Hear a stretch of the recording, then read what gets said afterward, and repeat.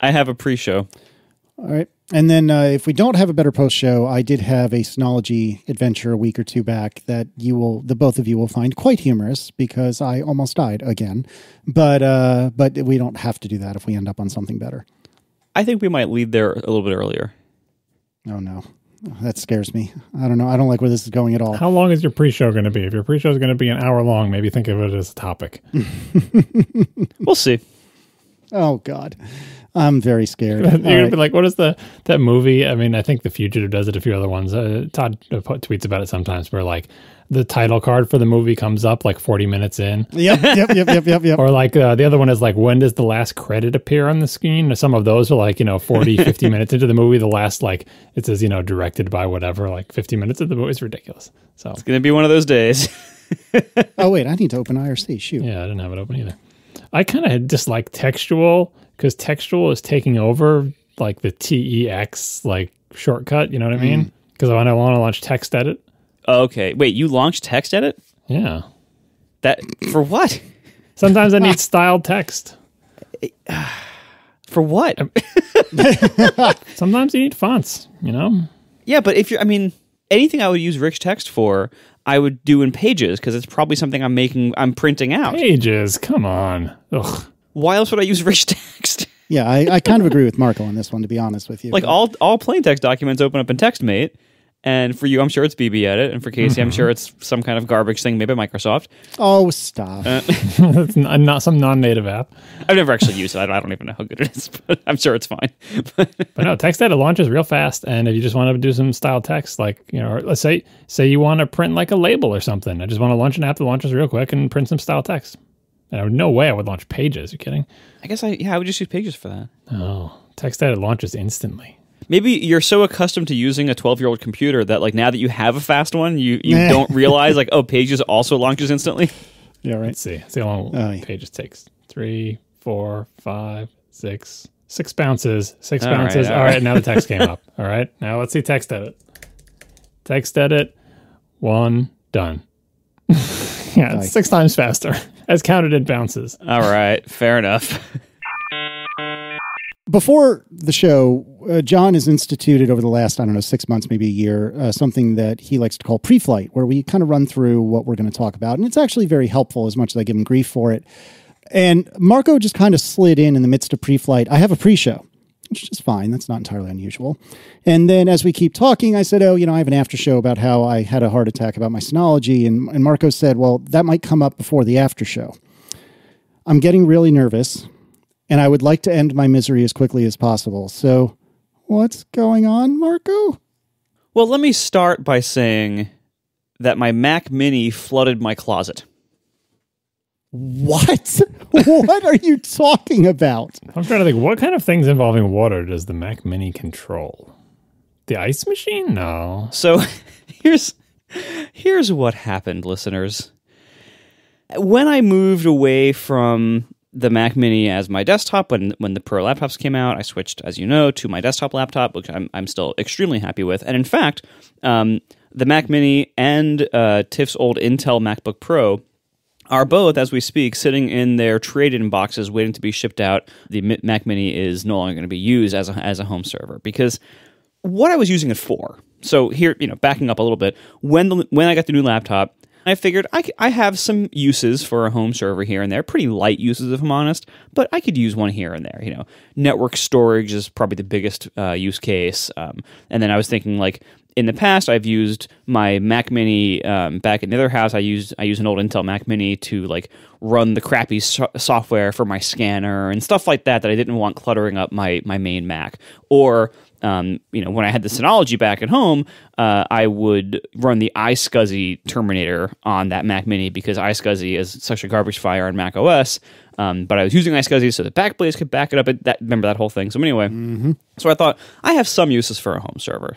That was that was the idea, and I had two eight terabyte external SSDs that were serving as massive storage for both me and Tiff. They were serving as time machine uh, hosting as well as archive storage. And because they were mounted on a Mac, the archive storage was also being backed up to Backblaze. So I figured that was a really good solution overall. And I, I, I originally got the SSDs so that it could live in my office because they don't make any noise and I don't allow fans in my office. Um, so it was fine in my office, but my, my office here is kind of small, and I, I wanted to get it out of my office because once it's operating as a server, a Mac Mini doesn't really need to be next to you. It can be anywhere in your network, and it serves the same purpose. Um, so I happen to have a closet nearby that hosts the router and the switch. I figured I can put the Mac Mini in this closet. It's perfect, actually. There's there's plenty of room for it on this on this high up shelf. All, all the networking gear is right there. So I brought the Mac Mini in there, uh, you know, about a month ago, and I also brought with it the two eight terabyte external SSDs. Um, and they, the, each one of those is just in like a fifteen dollar cable matters enclosure from Amazon, where like you know one side is metal and the bottom plate is plastic, and just like you know a basic U- USB C uh, external enclosure. I did run into a couple of issues there. The M1 Mac Mini is actually kind of a crappy server.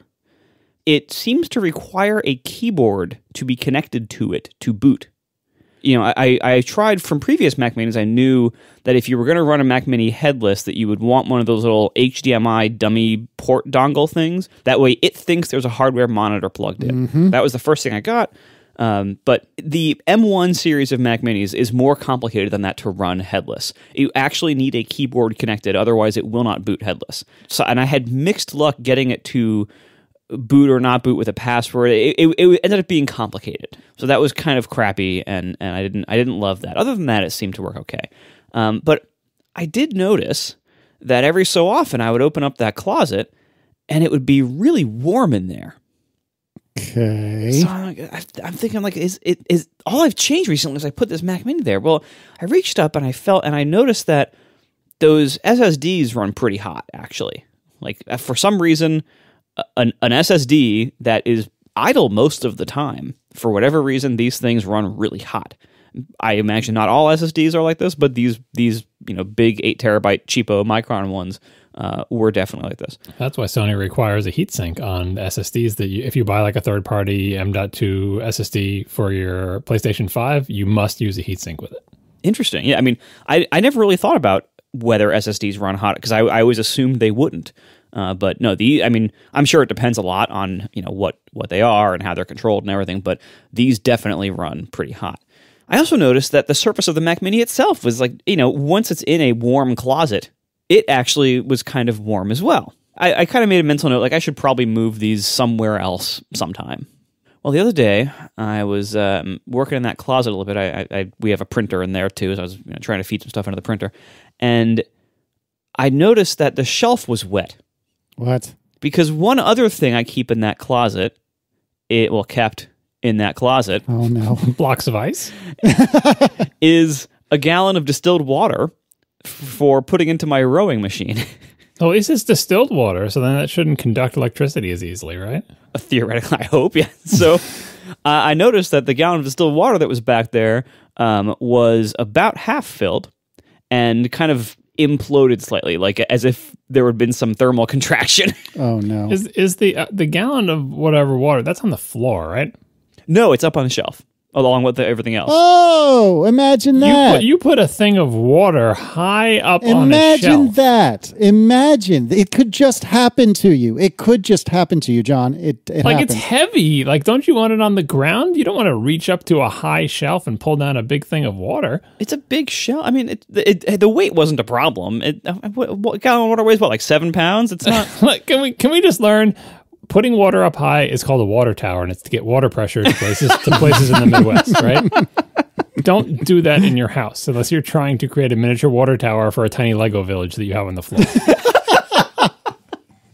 well, anyway, um, most of the water, well, about half of that gallon of water had leaked out over some time period. I it sure looks like it was due to um, some thermal issues that were happening nearby. Uh, So it got so hot that it melted or weakened the wall of a plastic container containing water. it seemed to have weakened the wall of it enough to make a tiny little hole somewhere on like one of the seams, What kind of what kind of container does this come in? Can you describe like what is it? like like a gallon of milk, kind of. You know, like that, that big plastic. exact, exactly like a gallon of milk. Yeah, that, like that big the big plastic thing with the handle. Oh, okay. Yeah, no, do not put jugs full of milk high up on shelves near electronics. What are you doing? It was distilled water. It's not conductive. anyway, I this I'd never seen this happen before. It's right next to the mineral oil. So anyway, fortunately nothing was damaged and the water didn't escape the shelf and stain the floor or anything. So that's that's good. And didn't even seem to stain the shelf somehow. Um it's a, I guess it's a good shelf. So anyway, besides a couple of you know a couple of sheets of printer paper that got wet and got ruined, uh, and a few cardboard boxes for things I didn't need anymore, including this Mac Mini, um, nothing else seemed to have been damaged by this. So fortunately, that that's good. Wait, you're going to trade in this Mac Mini now that's been in in the water? The Mac Mini was not in the water. It was on. It was one shelf above. All right. Same closet, one shelf above. Um, anyway, so I, I realized I need to. I need to. You know, get rid of the situation now. I mean, also I need to stop collecting water in my closet. But you know that that's that problem just solved itself. There is there is now no more water left in my closet. um, so The closet has good drainage. Did it just leak out of your house? No, it just it sat on the shelf. Like it, it wasn't. It didn't have enough surface uh, tension, or it, there wasn't enough volume of water to overcome the surface tension to make it go over the edge. So it was just like a like a shallow layer of water on the shelf. But I, I got it. Anyway, so that's not the point of the story. Do you have photo? We need even if you don't post them, just we need some private photos of. Yes, concur. I didn't take it. I, I was busy freaking out and getting paper towels. I know. I'm just going to say to the listeners, in general, I know you hear the idea of like a server closet or whatever, but closets are terrible places for, for anything that produces heat. Unless Yes. you have a ventilated closet, a closet that has airflow going into and out of it, don't put things in closets or media cabinets for that matter if they're entirely enclosed. You need some source of fresh, cool air for your electronics to be healthy. turns out. so, anyway, and yeah, this is not a ventilated closet. Although the networking gear does fine in there. You know, it's the, the Ubiquiti Dream Machine, a big switch. Like you know, it's fine. I'm sure it does fine because it's more tolerant, but it's not great for that either. Well, fair, but I, I've never, I've literally like, with the exception of since I moved the Mac Mini in there, I've never opened up that closet and felt it noticeably warm. And it's an interior closet to the house, so it doesn't get too hot in the summer or too cold in the winter either. So anyway, I realized I, I have to, I have to adjust my Mac Mini setup. So I- I have a couple other places around the house I could put it that are that are like somewhat enclosed but better better thermally controlled. Like there's a utility closet on the outside that has electrical stuff in it, and that's that's fairly controlled. So I'm like, all right, I, I could put it in there. But I realized I was doing all this. You know, this Mac Mini, I, I looked up the trade-in price, and the trade-in price was like eight hundred dollars With Apple or with someone else? with Apple. Okay. So I was like, all right, I could I could trade this in. What do I actually need this for? Could I get away with less? Is there something else that I could spend the eight hundred dollars on that that might solve my needs in a better way? Um, and or you know something like this is not a great solution that I have here. It seems like both a waste of a perfectly good M1 workstation computer that could be used in other ways, and also you know this is not a great uh, storage solution physically or logically. Like as I mentioned, it's kind of a crappy home server. So I thought, all right, let me let me think about some other options here. As much as I hated to admit this, I thought maybe some kind of network attached storage would would probably solve this need better. If the, the main thing I needed it for is Time Machine. Tiff and I now both have large laptop internal storage, and we can fit almost all of our archive files on our laptops. All we really need something else for is Time Machine. The Time Machine does, ha- does have to be fairly large, though. Tiff's laptop is 8 terabytes minus 4. I need a lot of terabytes of Time Machine and not much else. So I basically just need, like, um, what were those? Time capsule. I need a time capsule, but, like, for the modern age. So I decided this would be best solved by a network attached storage device. Indeed, putting storage on the network would indeed be best solved by a network attached storage device. I agree. Preferably that you do not store in a closet. So, what did you buy? Take a guess. Did you buy a Synology? I got I got a Synology. I got another one. Attaboy, which one'd you get? Uh, so here, I'm not even sure I should tell you. Why? I, honestly, I'm not up to date on the newest Synology stuff. In fact, I was just uh, discussing this with a friend via text the other day. My Synology that my primary Synology that I use probably more heavily than either of you guys is still the original one that Synology sent us in like 2013. It's almost 10 years old. Now, granted, it's the ship of Theseus. the 1813 plus, right? Yeah, yeah, yep, yep. 1813 plus. I, I upgraded the RAM on mine. Did I tell you that? No, you didn't. Was that easy? Because when Synology's like uh, OS 7 came out, they said, oh, uh, you know, you can get by with this much RAM, but we recommend that much. And I'm like, huh, I wonder how hard it is to upgrade the RAM on Synology. Turns out it's not hard at all. It's super cheap. I bought a little RAM expansion thing, opened it up, shoved it on. While I was in there, I sprayed out some of the dust, slapped it back together. It's got like double the RAM that it had before. Yeah, still going All strong. right, can we put that in the parking lot and talk about it later, please? Because I, I genuinely would like to know about that, but we can take that offline. So yeah. So uh, anyway, the, to very briefly, so I have this 1813 Plus that's sitting here now, despite my tale of woe that I'll hopefully get to later. Um, is is running really well, but I know the clock is ticking and. I, as you, as listeners have really found out in the last couple of weeks, I am a little bit on the frugal side, and I really don't want to buy another eight bay Synology. And then the proper answer is probably to fill it with all new hard drives rather than to just extract the ones in the current Synology and punt them over to the new one. So that's like a several thousand dollar expenditure that I really don't feel like doing Wait, right now. wait. How much space are you using? I think I'm using around 11 terabytes at the moment. Okay, I can tell you exactly how much it would cost to replace that because I just did that. Good. Okay, well, tell me more. Okay. But did Marco get the one that's all SSDs? Yeah, that's the thing. Well, I thought about it. So first, I thought, all right, if I get they they made a, a few a few years ago. I don't think any of them are still made, but they made some that only took two and a half inch discs. Oh, I didn't know that. Oh, no, you don't want that. That's gross. There was a little tiny six bay. Oh, I bet that was adorable. It was. It- yeah, it's, it's, there's a six bay. It's called the DS620 Slim. It, it doesn't seem like it's currently made, but you can still find a couple of them for sale here and there. Um, but it's like a little tiny six bay SSD only one, which I thought was kind of cool. Um, but I realized, like, okay, for my actual needs here, A, I don't have six SSD size disks. I don't really need to or want to have those. And also, I want this to be very large storage, and it, it can be very large, very cheap, you know. Th- and so I'm looking at three and a half inch drives. But I also realize, like, I also don't want like my needs here. While they are large, they are also simple. I'm not running Plex on this thing. I'm not going to get into like the Docker fest and running apps and having it download pirated movies for me and everything. I'm not going to do any of that stuff. It just needs to host Time Machine.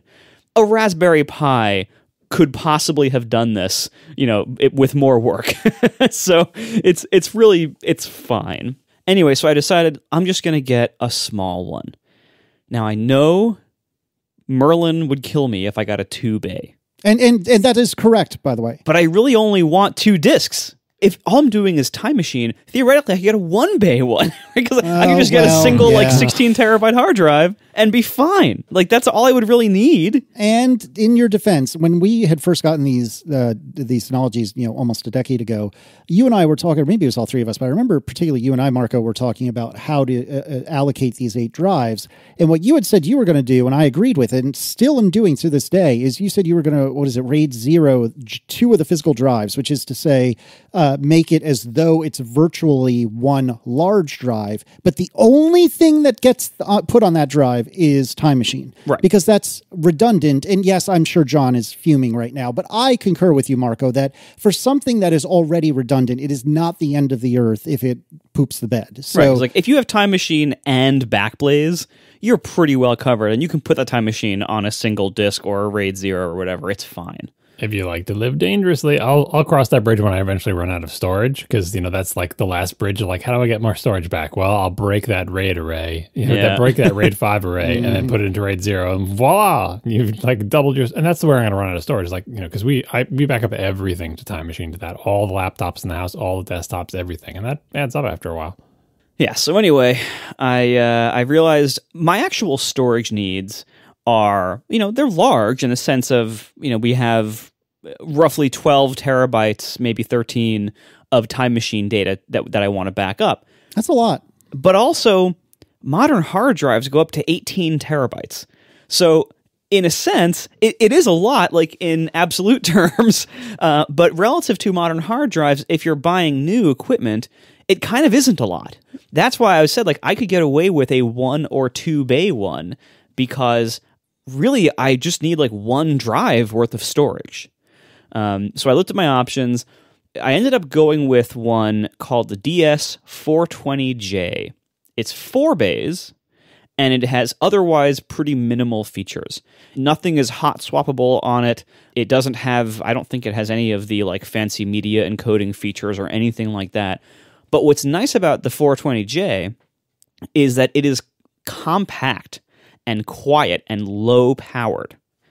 And so, if you're going to put it in a closet or something, th- those are pretty attractive uh, qualities. And it's not that expensive. It's $300 empty. That's really not bad. Yeah, for a four bay Synology, that's pretty good. And by the way, looking at the the official site for this device, uh, DS420J is a four bay desktop NAS designed for home data backup. Blah blah blah blah blah blah blah. So I think you're you're barking up the correct tree. I would say. But is it rated for outdoor use? oh gosh. As long as there's a roof over it, it'll be fine, right? yeah, theoretically. Yeah, totally, it doesn't, totally. The rain doesn't get to that area. so I got it. I set it up today, and I put into it only two drives so far. I figure I, if I really need expansion later, I can expand later. I probably never will. Um, but it's good to have the four bays for flexibility in the future if need be, given that the price was so good on this. And the drives I got were two Seagate, whatever, whatever, 18 terabyte drives that for some reason are on sale right now for like $350 each. Where? Uh, how do you get the drives in this thing? The you actually like unscrew the butt. It's like it's like those like those old overalls where you'd like unbutton things for like the butt access panel. Yeah, I saw the but the, the back panel. I see two big openings for fans. So you open you open that up. You see those those giant black thumb screws on the corners of those fan the fan panel. You unscrew all those, and the whole back hinges down. and then does it flap down like a door? Yeah, I see it. Does the do the fans come with it when it hinges down? yes, And then it's just four vertically. And then yeah, it's, it is. You have these, these four trays you pull out and stick the hard drives in. Um, yeah, so it's it's fine. I, I did the the new setup. Um, like I mean, the last time I set up a Synology was like 2013. It's they, they've come a long way since then.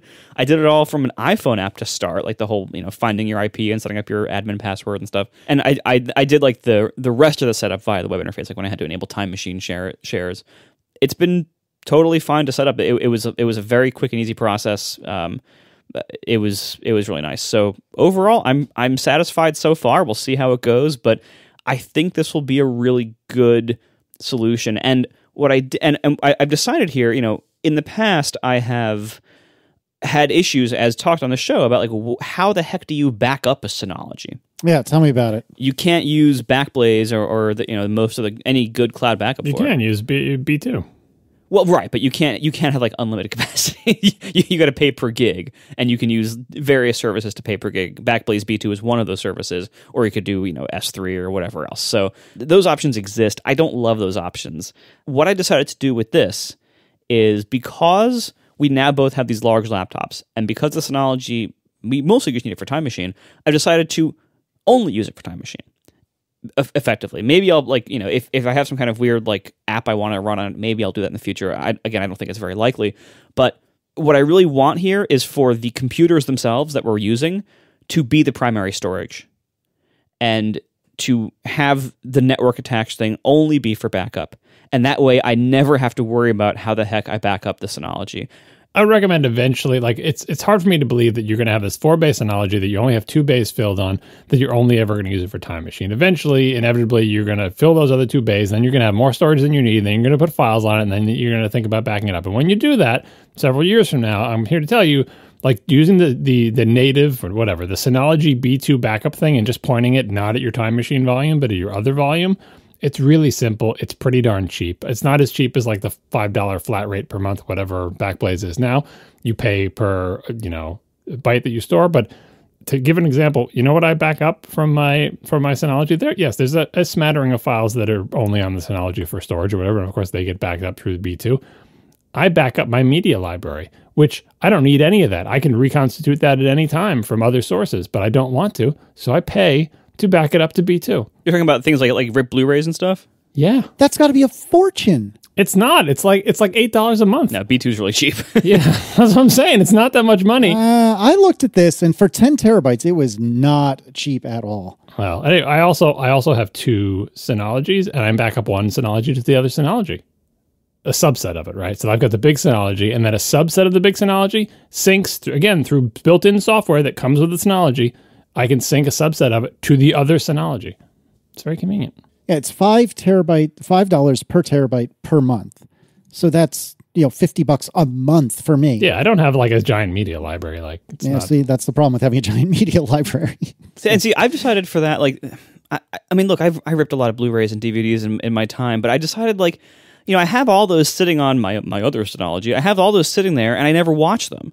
Most of the movies that I that I've bought on physical media, either I never watch, or when I want to watch them, I can watch them on whatever used whatever iTunes is called now because I hooked up that Movies Anywhere thing years back, and so mm-hmm. and all those purchases I like redeemed all the all the Blu-ray codes for all the discs I had, and so almost every movie I own on physical media in any modern format like Blu-ray, I have access to that for free or for no additional cost through iTunes. So I can I can always just go and watch those whenever I want.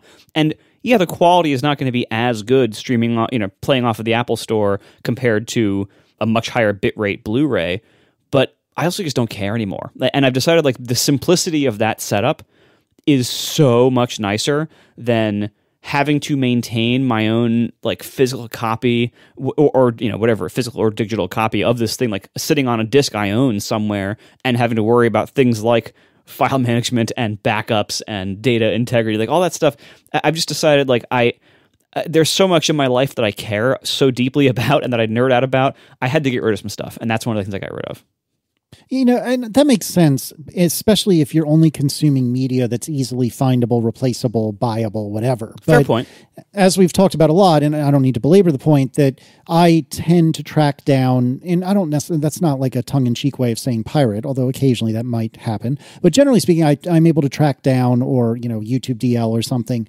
uh, something that doesn't exist anywhere else or doesn't exist in, in a way that's easily replaceable and so on and so forth. So I think for your purposes, and I, and I don't mean to sound dismissive, I apologize if I do, but for your purposes, I agree with you. What you're doing is the right approach.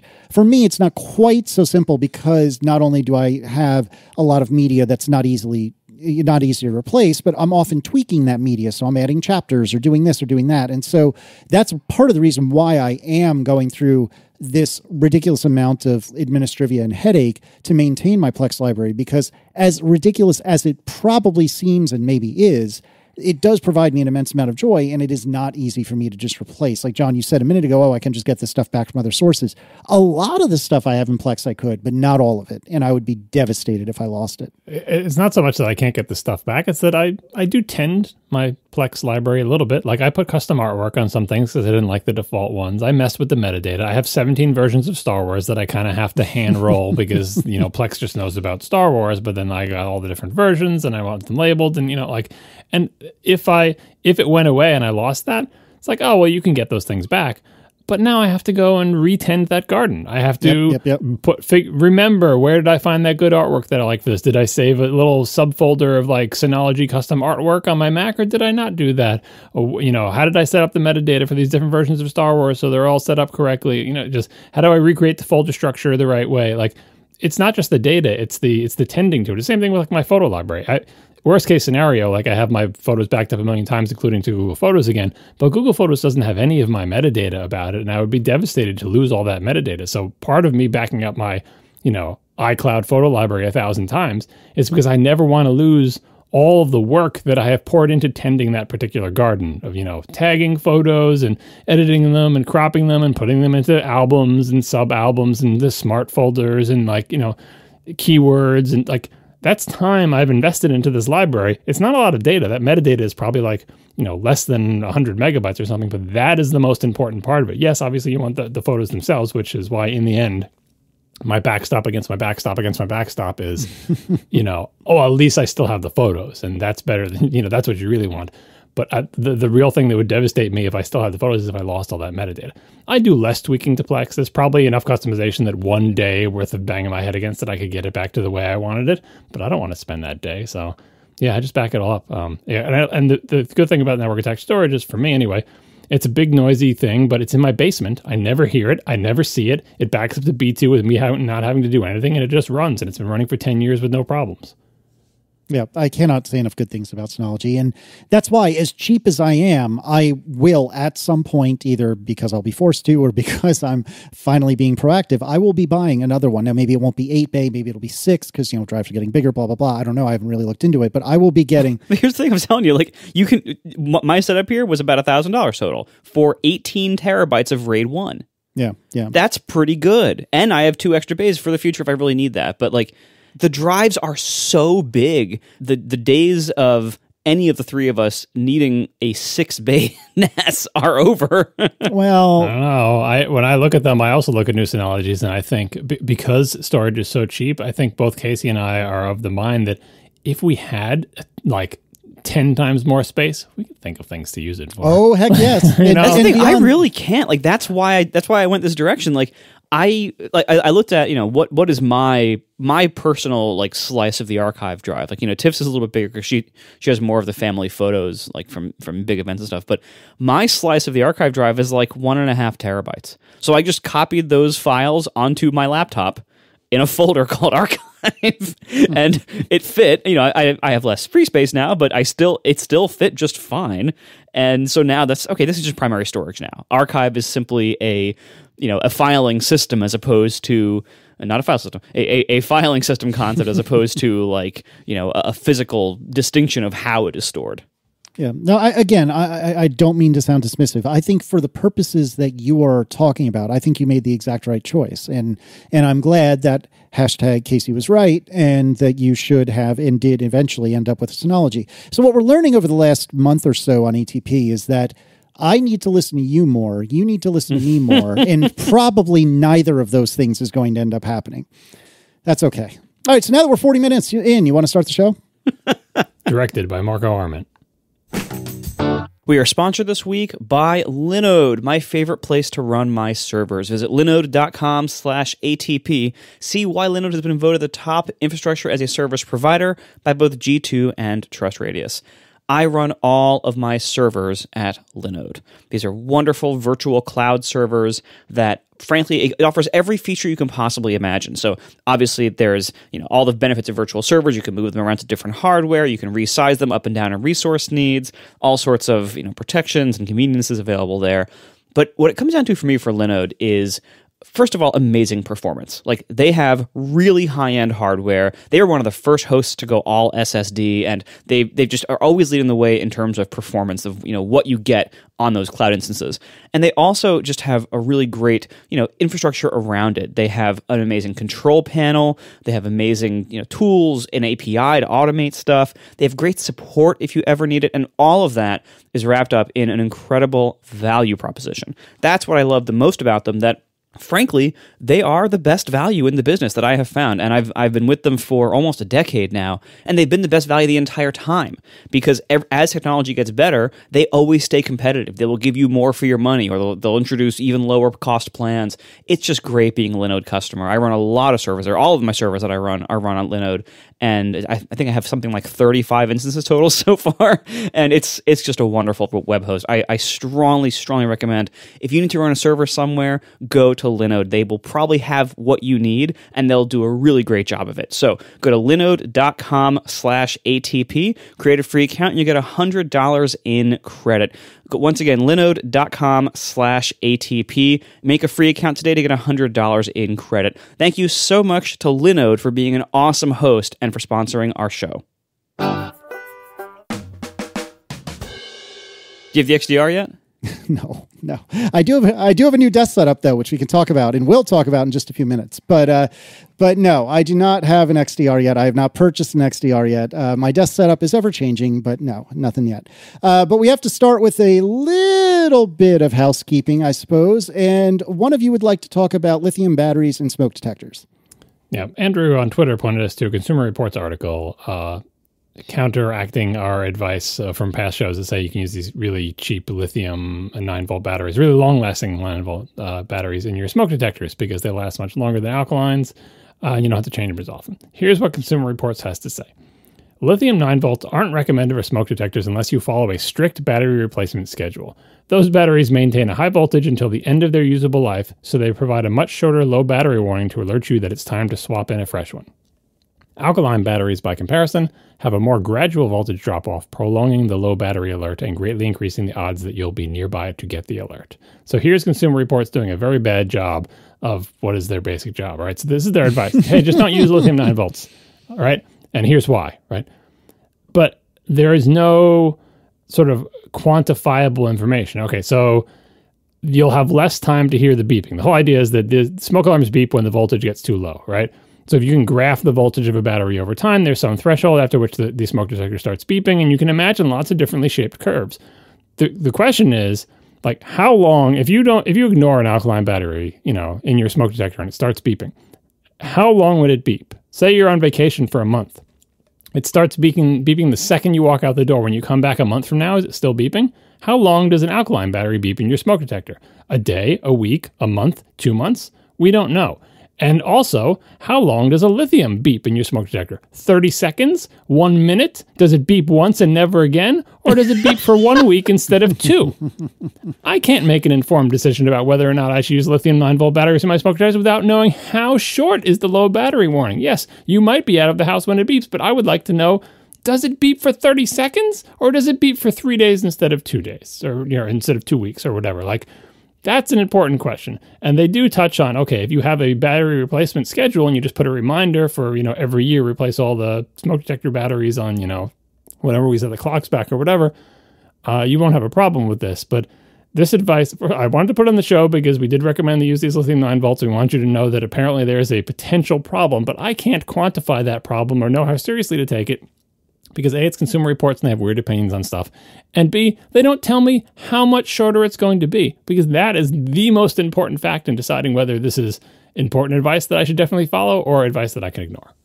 Yeah, because like there's there's an obvious trade off. You know, like there's like if you if a lithium battery lasts like two or three times longer than an alkaline battery, if if you're optimizing for time the smoke alarm is working, uh, then that's a pretty big benefit and then so you have to weigh that like it, depending on how you know as John was saying like we don't know like how much shorter is the beeping window? Who knows? There's no data here. So this sounds like the kind of thing that like you know sometimes established people with established mindsets have a hard time adjusting to new things and try to immediately disregard or discredit some kind of new option as ah you can't do that. It's not safe or it's not the way we used to do it. You know and that kind of attitude often is the cause of myths and, and you know, quote wisdom that is not true um, spreading around. And this sounds a lot like that kind of thing to me. It, it, it, there is actual science that, in the sense that lithium based batteries do have like higher nominal voltages than alkalines. Um, I think I, I think they're slightly above 1.5 and like things that try to detect their battery level based on the assumptions of alkaline battery voltages will often not detect it correctly in either lithiums or going the other direction if you put in rechargeables. Like the rechargeable uh, nickel metal hydride batteries that everyone uses in most things like rechargeable double a's and everything those have a lower nominal voltage than double a's. So when you put those in something i think those are 1.2 or 1.3 volts instead of 1.5 uh, off the top of my head I, I could be wrong but it's you know it's lower. And so when you put those in something, oftentimes it will think it, you have a low battery even when you don't.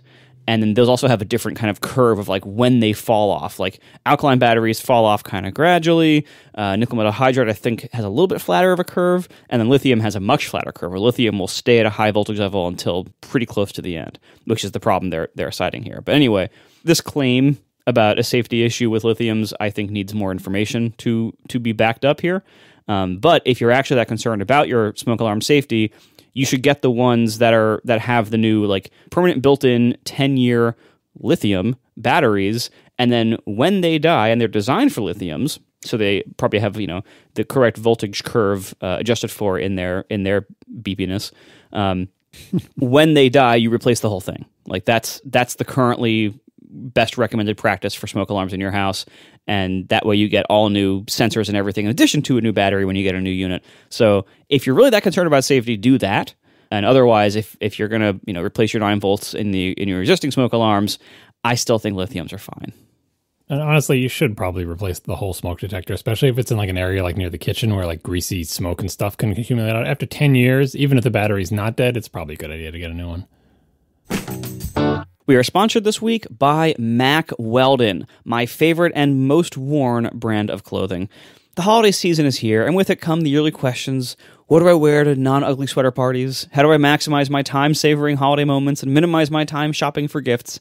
So fear not, Mack Weldon has your answers. Whether it's an office party or family gathering or just you, your couch, and a game on TV, Mack Weldon has all the essentials to keep you stylish and comfortable throughout the season. And their innovative daily wear system has taken the hard work out of outfit planning with pieces designed to work together for any occasion, saving you time and sparing you any extra holiday stress. Mack Weldon's stuff, frankly, is amazing. I have been wearing their stuff heavily for years. I wear their underwear every single day. I wear their t shirts most days. I have almost I have one of almost everything they make, and I have way more than one of my favorite things. I have you know, something like twenty pairs of underwear. I got I have their socks. They make wonderful like boot knit socks uh, for the winter. They're really nice. Their warm knit long sleeve uh, tees and and other items are really really nice for the winter.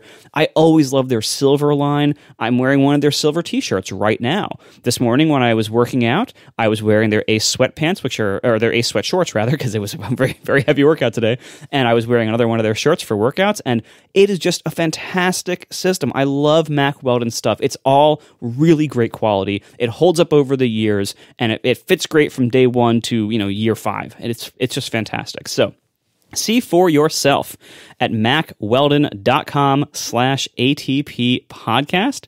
And you can get 20% off your first order with promo code ATP podcast. That's mackweldon.com slash ATP podcast, promo code ATP podcast for 20% off your first order. Mack Weldon, get it right this holiday season. All right, let's go to Casey's Corner, and I'm not talking about the uh, restaurant at Walt Disney World. I have a whole bunch of hopefully quick follow up. Wait, there's a restaurant at Disney called Casey's Corner? Mm-hmm. It sure is. They serve hot dogs and uh, other things of the like. It's uh, delicious. Do they serve like Velveeta? Boar's Head American cheese, white American, yeah. And now, uh, you know, can you That would can be incredible. Vel- Velveeta shells and cheese. Uh, I actually have uh, several pictures of me in front of it, um, which, if I remember, which I won't, I will give you one for this chapter of the show notes, but I will surely forget. Nevertheless, You inspired, you inspired my wife to get Boar's Head white American cheese at the store Oh? the other week. It's good. and I, I always liked it. I've liked it my whole life. It's good. I ate it. good. See, I'm telling you. You're- Yeah, I'm still a yellow American person, but otherwise, but I, I, I admit the white American is very good as well. There you go. See, now that is useful follow up. That is what I like to hear. All right, so let's talk That's about the, is it is this the only food and drink opinion that the three of us share? that. Might be actually We, we, we all find Boar's Head American cheese acceptable. Thumbs up. that you. I know actually that no, really and truly, I think you might be onto something. This Do might we all be, like water too? Eh, Not distilled, Marco. yeah, too soon, too soon. Two, two of you have a, uh, a fraught relationship with water. We do. Mo- me more so than Marco, but both of us now. All right. So, hey, uh, the LG uh, Screen Manager app, which is this piece of garbage app that you can install on a Mac in order to update the firmware on your LG Ultrafine 5K, uh, as we discussed a show or two ago, that only successfully worked on Intel Macs. And as of the last day or two, it now works on M1 Macs, which is great. And that was via uh, Dave St- Stachowiak uh, via Twitter. Uh, so we'll put that link into the show notes. If you have an LG 5K or presumably 4K, you can check that out uh, if you have an M1 Mac. Now let's talk about my LG. Uh, it is no longer in the house. Oh, After nine days of pestering LG, I have finally gotten a RMA and it is finally on its way back to LG. Thankfully, the repair center is super close. Let me see where it is. Oh, City of Industry, California. So now this thing is going to probably go on a truck all the way to California to probably sit for three weeks until somebody's available to look at it, only to pro- probably tell me that the thing is back ordered.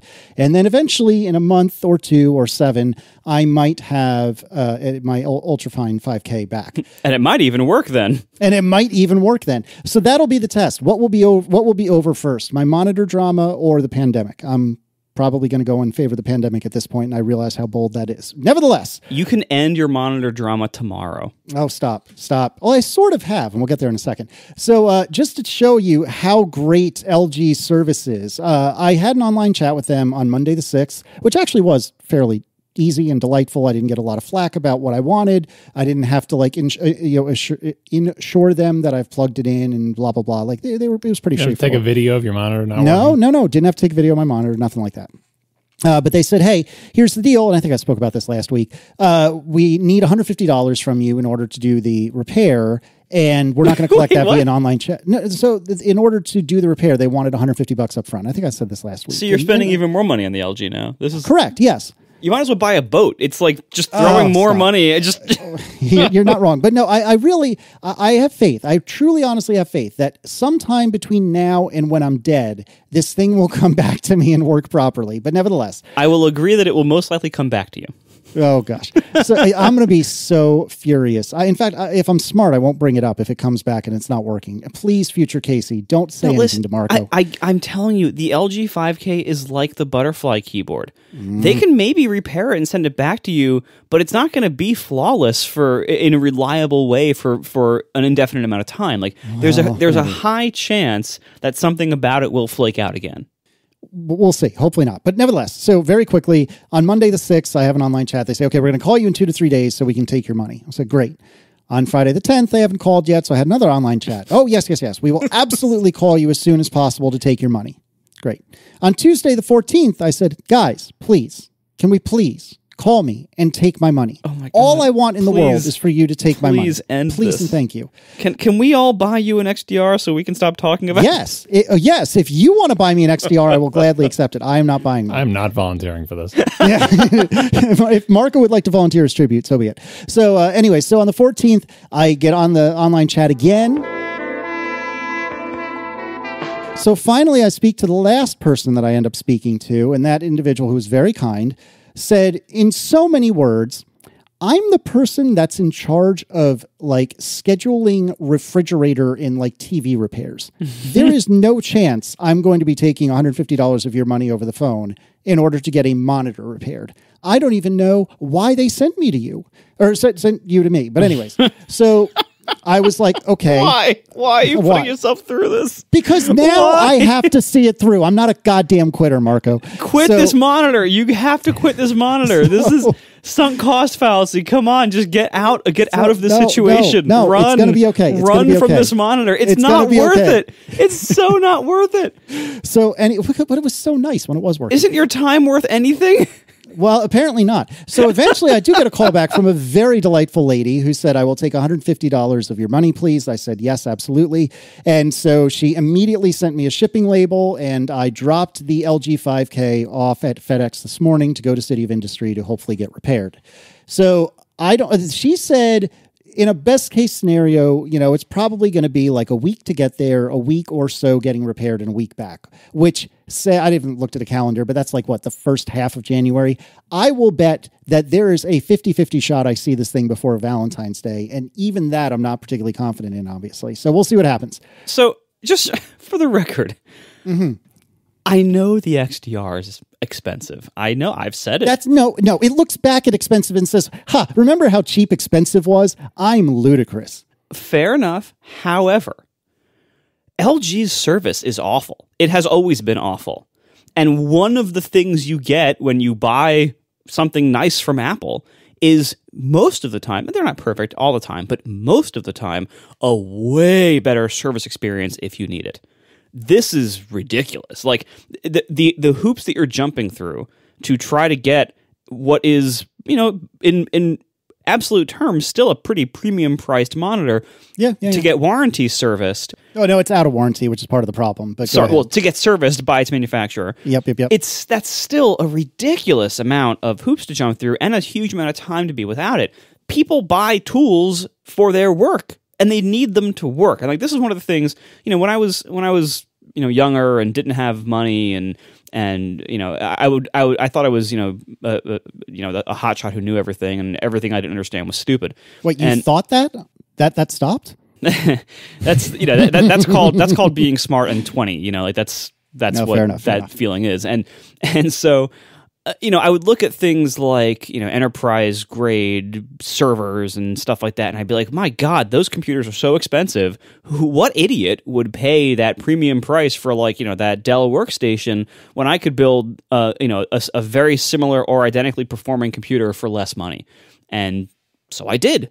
And God, I spent and wasted so much time building and then repairing and fixing and trying to get to work custom built computers for me and my friends like through, throughout all of high school and college. So many hours down the drain. But we didn't have much money and so that trade-off made sense. But i never understood why people would buy the expensive things. Well now that i'm like a business and an adult it makes sense. If if i'm using this thing as a tool for all of my income I can spend a little bit more. Uh, you know, this is where the, the phrase like throw money at the problem to make it go away, right? Mm-hmm. If I can throw money at this problem and make it totally go away, that is often worth doing because these problems are not worth the massive amount of time and hassle and and potential risk of like this thing might just die one day when you when you really need it to be working. You know, if you're working on something really important, this thing might just die and you're just screwed. And if when something does die, it takes you like a week of effort to even get them to start the repair and then you might see it back again in a month, that is not suitable for professional use. Simple as that. Like and that's why professionals in professional environments when they can afford it get nicer gear that has better support, better reliability, and better service when you need it. And in this case, you're just make you're making the case for the XDR over and over again every single week. He's making the case against the LG 5K, not necessarily for a six thousand dollar uh, monitor that's been uh, surpassed by the laptop monitors. it it pained me so much to order this goddamn expensive monitor. It really did. Uh, but my monitor problem has been totally gone since then. Zero issues. I'm totally happy with it. Uh, Regardless of what John says, and we'll talk about the rumors in a second. I am not at all like feeling FOMO about like, oh God, what if what if I'm going to miss the new? No, we, we or- bought ours at the right time. We bought them when they were the the when when it, their price made the most possible sense. Well, you, it never made that much sense, but you But bought it made the you bought yours If at, you- at the best time when it was brand new. yeah, if you look at the if you look at the slope of how much sense does this monitor make at this price, it's going down real fast now.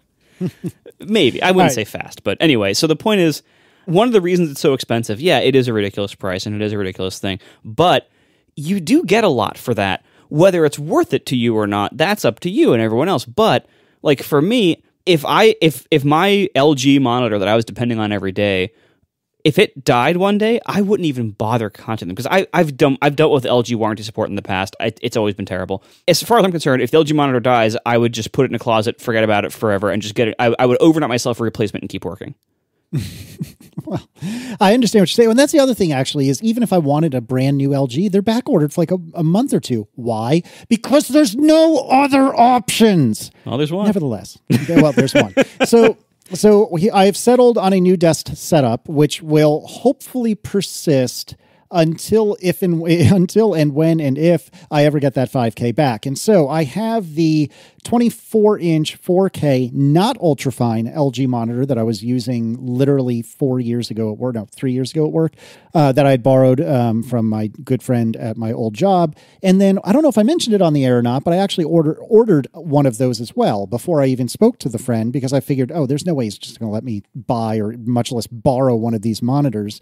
Um, so I'm just going to order one and I'll use, you know, one of these 24 inch 4Ks and, and the onboard laptop screen. What speaking of orders, didn't you order a new LG 5K? And you're like, oh, I, I don't think I'm going to cancel that order yet. That's the last we heard of it. Did you cancel Yeah, that? I order? did. I did cancel it. I think around the time that the LG, the the one that I Do, had, you- do you had- regret canceling it now? a little bit? Yes, but that's neither here nor there. um, so anyway, so I have. Uh, I, love had ordered. You know what's better than one mediocre finicky monitor? Two of them. Well, it would be a brand, a brand new one that maybe would be less finicky because who knows why. And by the way, you're talking about it. here's my new desk setup. Again, I would petition for a a uh, photo to be shoved into the Slack so at least we can see it, and then and so I can also point out all the the liquids that are threatening your setup. All right, you know what? I, I will do it right now. Uh, so now you're going to have to vamp because I will do it right now and I will not touch the water. I will show you exactly what my situation is. So hold on. You two All right, go vamp ahead. for a second. yep, plenty of time. Marco, Marco will edit this out, and then we can. Yeah. While you do that, we can discuss which part of Marco's adult businessman brain decided I'm going to store a jug of water next to the computers in my closet. In my defense, those were stored there at very different times. And when the- when you're an important businessman, you realize don't do risky things like make your own computer. Could cause problems. You're so mean. I have a jug of water. What so should I do with it? How about up high in the electronics closet? you need some adult supervision over there. I don't know what you're doing in that office. You're probably on Wi-Fi right now. Right, I did this with the wide, uh, the wide. Uh, the, I did this with a wide angle lens, so it's probably not the crispest or brightest, but it should be going through. Now. Oh, I forgot you you sit in darkness. No, actually, the overhead light is on. It's just It's, it, it it's a great thing with, the, with your glass desk that we can see the cable mess right through it. Like every Oh, time yeah, you look down at your desk, you're like, "Oh, there's my bad cable management. Yep, still there." It's an absolute disaster. I'll be the first to tell you. But um, so yeah, so what I have now. wait, hold if on. you're- Huh, Okay, so And he of does all, have a water. What are you doing? you have It's way over to the side. yeah, so was mine. nothing. Mine was in the You corner. nothing. All right, so You have, we- on the- you have an oh. on-air sign, but it's off, and we're on the air. You- if that spills like the USB Pre two is right there, which is like a seven hundred dollar box that does not like water. The keyboard is there, whatever, but you already said there's like a hundred and something, right? The laptop is up on a little stand, but it's like it's learned its lesson. It's it's on an the iMac stand, isn't that an iMac? yes, it stand? is. It is actually. All right, At oh, so least, let- at can we- it's on hold something. It's like it's like someone you know scared of a mouse in a kitchen going up on a stool. That's what. But can we it's describe- It's hanging over the side by like four inches.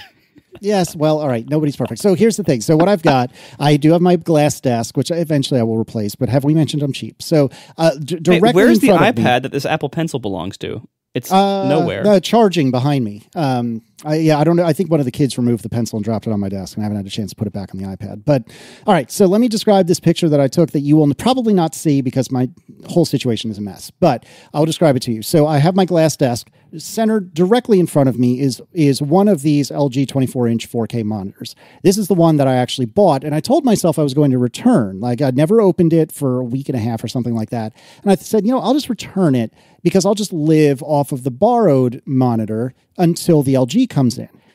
And uh, th- this thing was like 300 bucks, which is not a small amount of money, but is really not that much money in the grand scheme of things. and So that's 27 inches at 4K. 24 inches at 4K, which Oh, okay. strictly speaking isn't retina uh, if you look at the number, like the PPI numbers, but for my crap eyes, it is absolutely retina without question. I would say that is that is the that is like the upper edge because Oh, like agreed, back agreed. back in the olden days, 24 inch monitors when they first came out were 1920 by 1200. And 4K is uh, roughly, depending on some details, but roughly double that. It- It's the it's the roughly Retina version of that. So you Yep, know yep, yep. later on, you know, towards the tail end of 1X monitors being normal in, in Mac land, they did get more dense, and that 1920 across resolution shrunk down to like 21 and a half inches for the iMac. In the same way that like the 2560 across was first in the 30 inch Apple monitor, and then later on was put in 27s. So I would say going going you know quote back to the 1920 point across monitor at 24 inches while it is not today's version of retina it is like close enough it, it- it's within Yep. the, the realm of what we expect as mac users Absolutely. So that's centered in front of me. And then to my right, at you know, at like a 45 degree angle, is the borrowed equivalent. The, the exact same monitor, just the borrowed version. Um, and that's off to the right. And then to my left, on a riser that was designed for the sta- the base of the iMac and is obvious and thus a little too small for the MacBook Pro, but nonetheless, here it is. Uh, on the riser is my MacBook Pro in clamshell at the moment. And so I've got two identical 4K monitors basically directly in front of me. Uh, for the record, my water is all the way to the right, as far away from my hand as, as it can possibly be. You know what water can do across a flat surface, especially when made of glass? It can travel because it's It all the same level. But it, and it's and it's a it's an Aquafina bottle that's been you know recycled in the sense that it doesn't have Aquafina water in it. It has tap water in it now, but it has a lid on it, and the lid always stays on it unless I'm actively drinking. So, uh, you know, I'm doing the best I can here, fellas. But i wonder if maybe the solution to john's water anxiety is sloped desks Uh, that's going to cause more problems. or what if what if you use an air hockey table as a desk Now you got Yeah. stuff sliding off. It's not that difficult. no but you have all the holes need- all the drain holes you just need a surface, a surface around that same place that is like three inches lower. my next desk is going to be an air hockey table Uh, uh, By the way, you're a, you're a your uh, laptop being on the iMac stand, none of the feet of that laptop are in contact with the stand, right? Uh, correct. So it's just metal on metal. Oh no, there's a little. There's no, no, no, no, no. The stand has like a little pad on it. There's some metal on metal, but the stand does have a little pad on the top. Oh god. You're You get you like a tray table. You have tray tables in your house. Just put a tray table next to your computer. Yeah, all right, I'll get right on. And you that. can put But- like a whole meal on that tray table, and when it spills, Mm-hmm. it just goes to the floor, and nothing on your desk gets any of the liquid. Well, uh, you can't really see in this picture because it's terrible, but there's a filing cabinet directly to the left of Yeah, the. just roll um, that out a little. Yeah, well, that I could, but I always put junk on there. That's like my landing area, as you can tell in this picture. It's my landing area for the office. Nevertheless, uh, I get I get some I get some lights in this room next time. yeah. So, uh, so anyway, I bring all this up to say right now my setup is two of these identical. I'll, I'll put the model number in the show notes. I forget what it is offhand, but two of these identical 4K monitors. Each of them is three hundred dollars on Amazon, which again is not cheap, but given what you're getting, is actually really not that bad. The monitors are not great. They are fine. They're too low on this desk. I'll be the first to tell you they're too low. I was thinking about that earlier today. I need to figure out a way to br- raise them up because in typical LG fashion, the stand sucks, but it's fine. And the, and the thing is, and the reason I bring all this up is because to my eyes and to my wallet, 600 like even if I bought both of these, $600 for two 4K monitors, it is not what I would prefer, but it is absolutely not 10 times worse than the 10 times more expensive uh, uh, Pro Display XDR. Like, I just can't get, I don't think I would get 10x the. I, I, can't think of the word I'm looking for. Joy, uh, the return out of a six thousand dollar Pro Display XDR that I am off of this not perfect, but other ultimately pretty serviceable six hundred dollar setup, and that's why I keep digging my heels because it just I can't justify 10x what I've got right now. I just can't. Now, if somebody else wants to literally buy me one, I will absolutely accept your Pro Display XDR. But I, and if it was like a couple thousand dollars, I probably would. But at four or five or six thousand dollars, I just can't bring myself to do it. And, and and I actually don't disagree with you, Marco. I really truly don't. Like everything you said, logically, I one thousand percent agree with you. I just cannot bring myself to open my wallet for six thousand dollars. I just can't do it. So that is my new desk setup. Uh, and related to that, um, one of the things I've noticed is that now I'm running out of ports on this computer, which I actually have a dock coming um, from someone com- coming my way in the next few days. But with that said, I currently have plugged in one uh, of the monitors via HDMI, one via USB C to display port. I have the MixPre 3, I have a uh, Ethernet adapter, and I have MagSafe. So I am using every one of the ports on this computer right now, which I'm glad that this computer has as many ports as it does. And that brings me to a tip. Uh, I forget who it was that wrote in, but I had read a few nights ago, and then somebody wrote in the next morning uh, that you can actually do 60 hertz uh, via HDMI, which I previously erroneously said was not possible on these uh, monitors. The thing is, you have to engage HDMI Ultra HD Deep Color because when I think of refresh rate, I think deep color. Does that screw with their color reproduction? Because a lot of a lot of You think I notice? Yeah. Well, televisions and some displays have a mode in which they can accept your signal and say, but actually, we the, like the color gamut of the monitor is wider in some areas than the color gamut of whatever this thing is supposed to be displayed. at. It's more important for TVs because TVs like things are mastered in a certain color space, and for accurate reproduction, that color space should be shown on the TV within the color space that the thing is mastered at. But the TV is like, but actually, I've got more colors than that. Don't you want me to just take that image and expand it to, to fill the whole color space? And it makes everything look all like candy colored when it shouldn't be. And the only reason that's relevant to your computer is if you're looking at pictures and you're trying to like adjust them and everything looks all candy colored and you're like, oh, I got to try to dim it down. But then you look at it on an actual device that shows it within whatever color space that, you know, photo, like sRGB or Adobe, you know, whatever RGB if you see it accurate, you just realize you've changed your picture in a way that you don't like. So it's not not that you care like super duper professional, but if you're ever doing anything with photos on it, you want what you see on the screen to reflect the reality and not to be some you know ultra HD deep color thing where the monitor is disregarding the color space or expanding the color space for you. Yeah, I, I can't say I've noticed one way or the other. Uh, uh, but again, I I do have a discerning eye about some things and clearly a discerning ear because I can tell you all about how great vinyl is. but, uh, but this is not one of those things. And so if you happen to have one of these monitors, for what it's worth, menu, picture, picture adjust, HDMI ultra deep color. And if you do that, you can use an HDMI cable and do 60 hertz at 4K. I will say, not about color, but I could swear like something about the anti-aliasing is different. I, I, couldn't tell you what, and this is again, you're running it at native resolution, so there wouldn't be any I agree. I just it, something felt different to me, but I can't put my finger on it. I'm probably bananas. Is the is the subpixel arrangement different on these monitors? I mean, possibly, but I well, no, no, no, because, no, because what I was doing was I was switching between DisplayPort and HDMI in the same actual monitor, and, mm. I, hmm. and I felt like it looked different, but there was enough delay between the switching of the two that I, I think the the the signaling HDMI. Someone just wrote in about this they were saying how you were complaining that using DisplayPort and it made you feel like it was gross and ancient, but I think what you meant is you were using an older DisplayPort connector, and that felt old. But the DisplayPort protocol is more modern and more computer focused than HDMI. For can you find that email so I don't just make this up? Something about HDMI mixing chroma and luminance in the thing where uh, DisplayPort has them uh, more cleanly separated. I don't know. Anyway, uh, that that could explain the difference in that like you're getting worse picture quality because of some HDMI thing.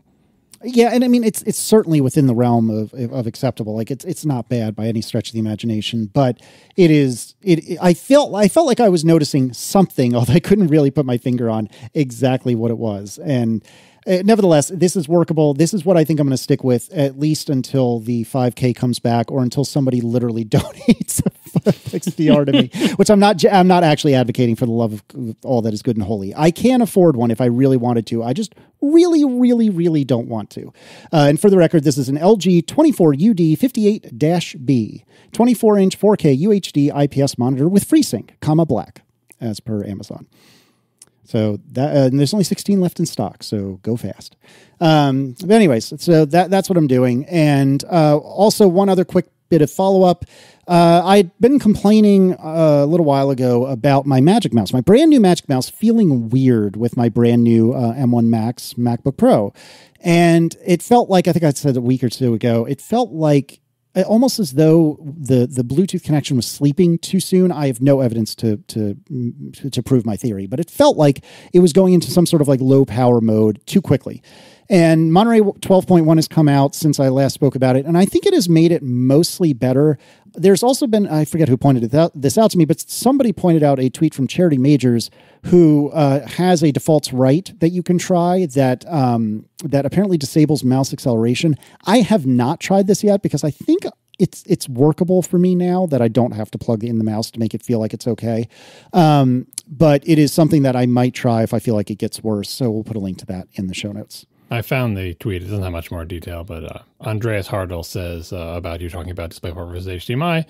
Uh, he says HDMI is based on DVI and mushes together all data in in a stream that still has the concept of blanking intervals.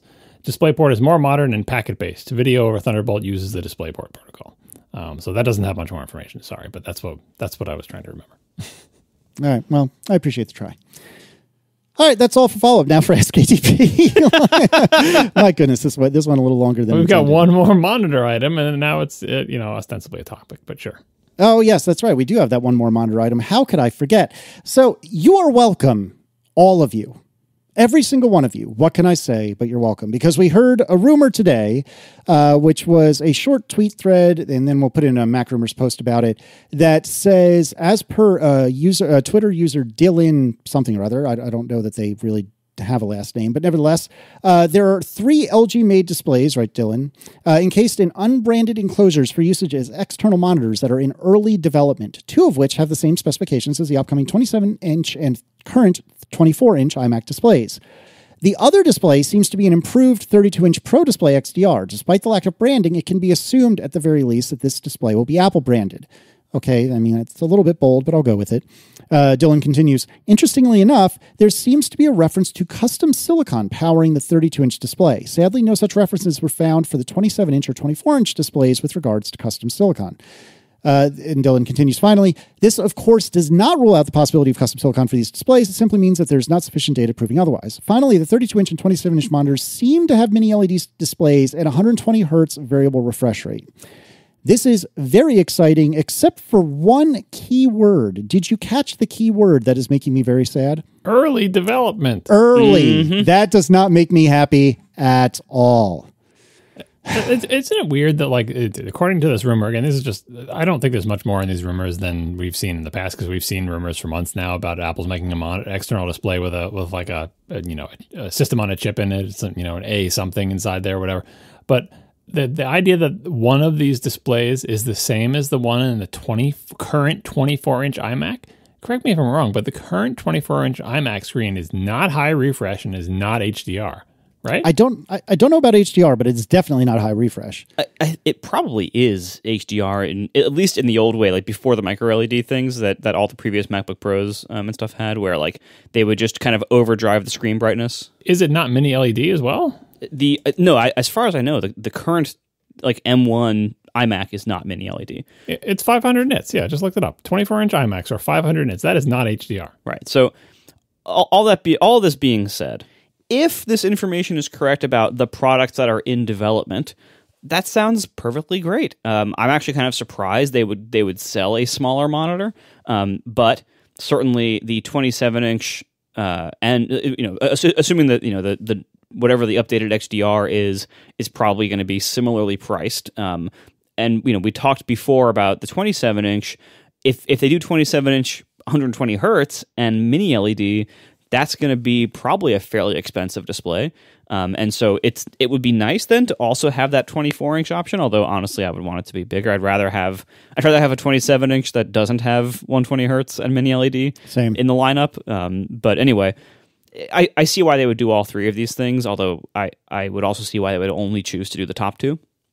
Um, but this is also you know this is a random person on Twitter, and random people on Twitter who tweet Apple rumors don't have a strong track record. I'm not I'm not familiar with this particular person's track record, but I, I would not uh, read this as gospel. Like uh, until we have somebody who is reliable with this kind of thing. Somebody like Ming Chi Kuo, Mark Gurman, like when they start claiming specifics and timelines, those are way more reliable than Twitter leakers and YouTube leakers have been so far. I think both of those people did have a external display with some kind of chip inside it, rumor from many months ago.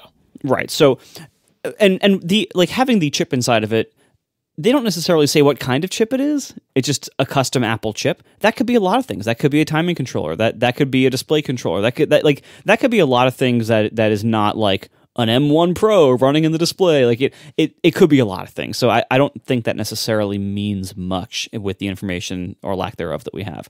But um, the part of that about it being early development, that again, that could be true. Gurman said a display was in early development like a year ago. Well, when did they receive this, the information? Where did this information come from? Maybe they received old information, or maybe maybe they only saw evidence of early development because the evidence of the current development didn't leak out in that same way through the same channel. Getting any kind of timeline argument from this, I, I think, is is weak and unreliable. Like you know, it, it sounds like a lot of the um, a lot of this information is being derived from like software support somewhere or references that are in a library somewhere to different displays. So I wouldn't read too much into this. We have heard from multiple places for about a year that Apple is working on an external display. At least one that is going to sit below the XDR in the lineup. There is a lot of smoke to that fire. That's probably going to happen. We I don't think this information from this person today gives us anything really concrete to work to to work with that we didn't already have. I wouldn't assume that the that the you know the the 24 inch proves to be a thing. I wouldn't assume that anything this person said that wasn't backed up by other sources over the last year would be a sure thing. It's all maybe. If this is true, that'd be great. Uh, you know, the, the timeline is not going to be what Casey wants. Um, but that would be a great, you know, again, typical Apple fashion. They basically stopped working on the Mac from 2016 until about 2018. Uh, like they they really did like almost nothing for the Mac in that time. Um, for whatever reason, history will eventually maybe tell us in some tell-all book sometime. But it, it certainly seems like they basically like turned off Mac development hardware-wise for that time. There was this giant hole in the lineup and they decided to fill it sometime in the last couple of years, I think, from what we can derive so far. And it takes some time to make stuff.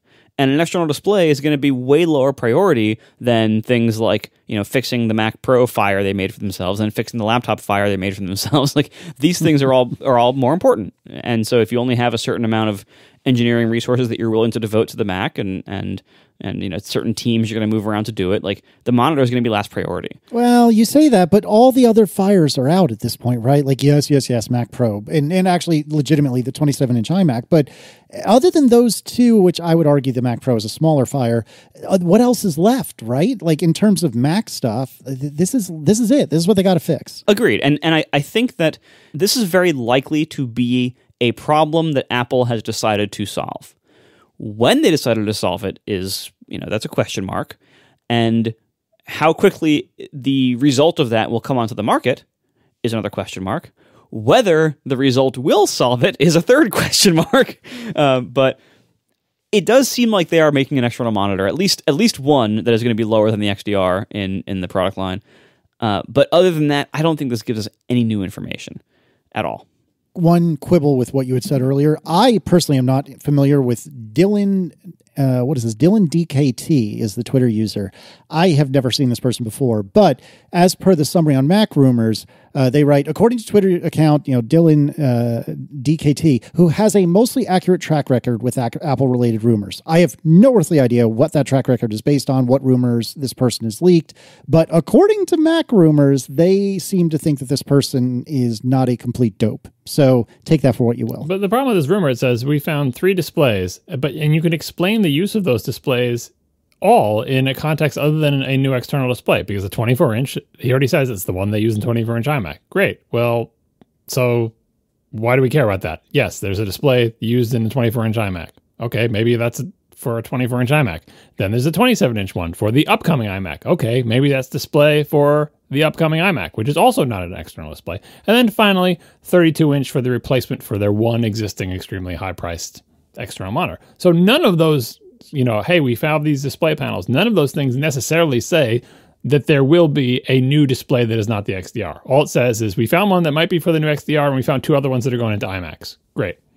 The other thing is that you know this this says that you know LG is is developing these things, and some of the, to some degree, you know that is that is not as bad as it sounds because LG it makes the panels that Apple often uses in their large display computers. It's two, actually two different companies. So there's LG Display and LG Electronics. And the company you hate is LG Electronics because they make the monitor. LG Display makes the panels that, like, for example, LG Display makes the OLED panels that every single OLED TV maker uses. Sony uses them, Panasonic Oh, I didn't uses know them, that. right? And LG Display sells their panels to LG Electronics. And the, the relationship between LG Electronics and LG Display is surprisingly contentious, considering it's like same team. Like, for example, LG Display versus uh, LG Electronics have disagreements about whether or not we should, you know, move on to display technology XYZ. Like, what should we do next after OLED? Should we use QD OLED? Should we use go back to some weird LCD thing or whatever? There's very often debates between them as to what they actually want for their next television. So it's super weird over there. Um, so when but when Apple's talking about Apple is buying things from LG Display they're not buying things from LG Electronics. But of course, Apple does have some kind of relationship with LG Electronics because I think they kind of like essentially cajoled them into making the stupid 5K that we all love. Totally. And and Apple does that at least they did that kind of relationship with lots of companies before. You know, especially um, in the last few years, Belkin has been the recipient of a lot of those kind of like Yeah. seemingly like Apple contracts possibly, uh, where Apple will kind of just you know work it out with either Belkin or LG or somebody like that like hey we don't want to make you know USB to ethernet adapters anymore. Just please you make one that follows these specs and we'll sell it in our stores and we'll, we'll you know promote it. Like and, and that's probably the arrangement they had with LG probably something like that LG Electronics um, for for the ultrafines I hope that LG in this rumor only refers to LG display because I I hope that Apple has realized and I think they probably have that outsourcing those you know essential items to LG or Belkin or companies like that doesn't usually result in the quality that Apple wants. You, you get a monitor that doesn't work when it's near Wi-Fi. Remember that? Yeah, that was yeah, first So version. It's like, yep. It's like mm-hmm. real basic kind of like, hey, so your job is to take this panel from LG Display and make a monitor out of it. Can you do that? It's like, it won't be near Wi Fi, right? I mean, we didn't really test it near Wi Fi. We were just surprised as you when we shipped this product out to customers and the thing turns off when it's near Wi Fi. Yeah, exactly. And you know what also is pretty mediocre? The Belkin USB C to Ethernet adapter. Like the, mm-hmm. it's it, these things. Apple should make these things if they matter, and the monitor matters. That's that is definitely an area where it matters, and I hope Apple has learned that. And again, given given how good their recent releases have been, it really does seem like there there was this bad period with the Mac for a few years. They have since turned it around, and it has just taken a while for like the good stuff to really come out. As part of that turnaround, I would expect current day Apple to be making these monitors themselves, not to have LG Electronics, you know, give them another crappy ultrafine solution. Like I, I, I would expect whatever comes out is going to be Apple branded with an Apple price tag, sold in Apple stores, and hopefully with Apple quality. I sure hope so. And I mean, obviously, I'm I'm burned by this ultrafine experience. so burned that I bought a different three hundred dollar LG monitor, but nevertheless, um, You don't seem that I- burned. yeah, exactly. Uh, but no, I hate this LG so much. I'm going to buy two more of them. All right, Well, that's the thing. Like when you look like again looking for gaming monitors and stuff, most of, a, a lot of the top choices are often by LG because of course LG makes the panels and LG Electronics often packages those panels in a reasonable thing. Like you know A- Asus and and on Razer and whatever all these other gaming companies also package them, but they're all they have like RGB lights and these weird pointy things all over them. and so if you just want, just give me the LG display inside like a black rectangular thing. LG Electronics and their monitors, they, they have lots of different options for them, and it's you know they're they're one of the better sources to get those things because it's not like you're going to buy an Apple monitor for your PlayStation or whatever. Yeah, but I mean, I I am really hopeful that this rumor comes true in some way, shape, or form, and I really hope it's sooner rather than later. Like in a perfect world, I will have my 5K back soon, and it will actually work, and it will stay working for a little while. In a worst case scenario, I will have one or you know at least one of these 4K monitors that I can fall back on if necessary.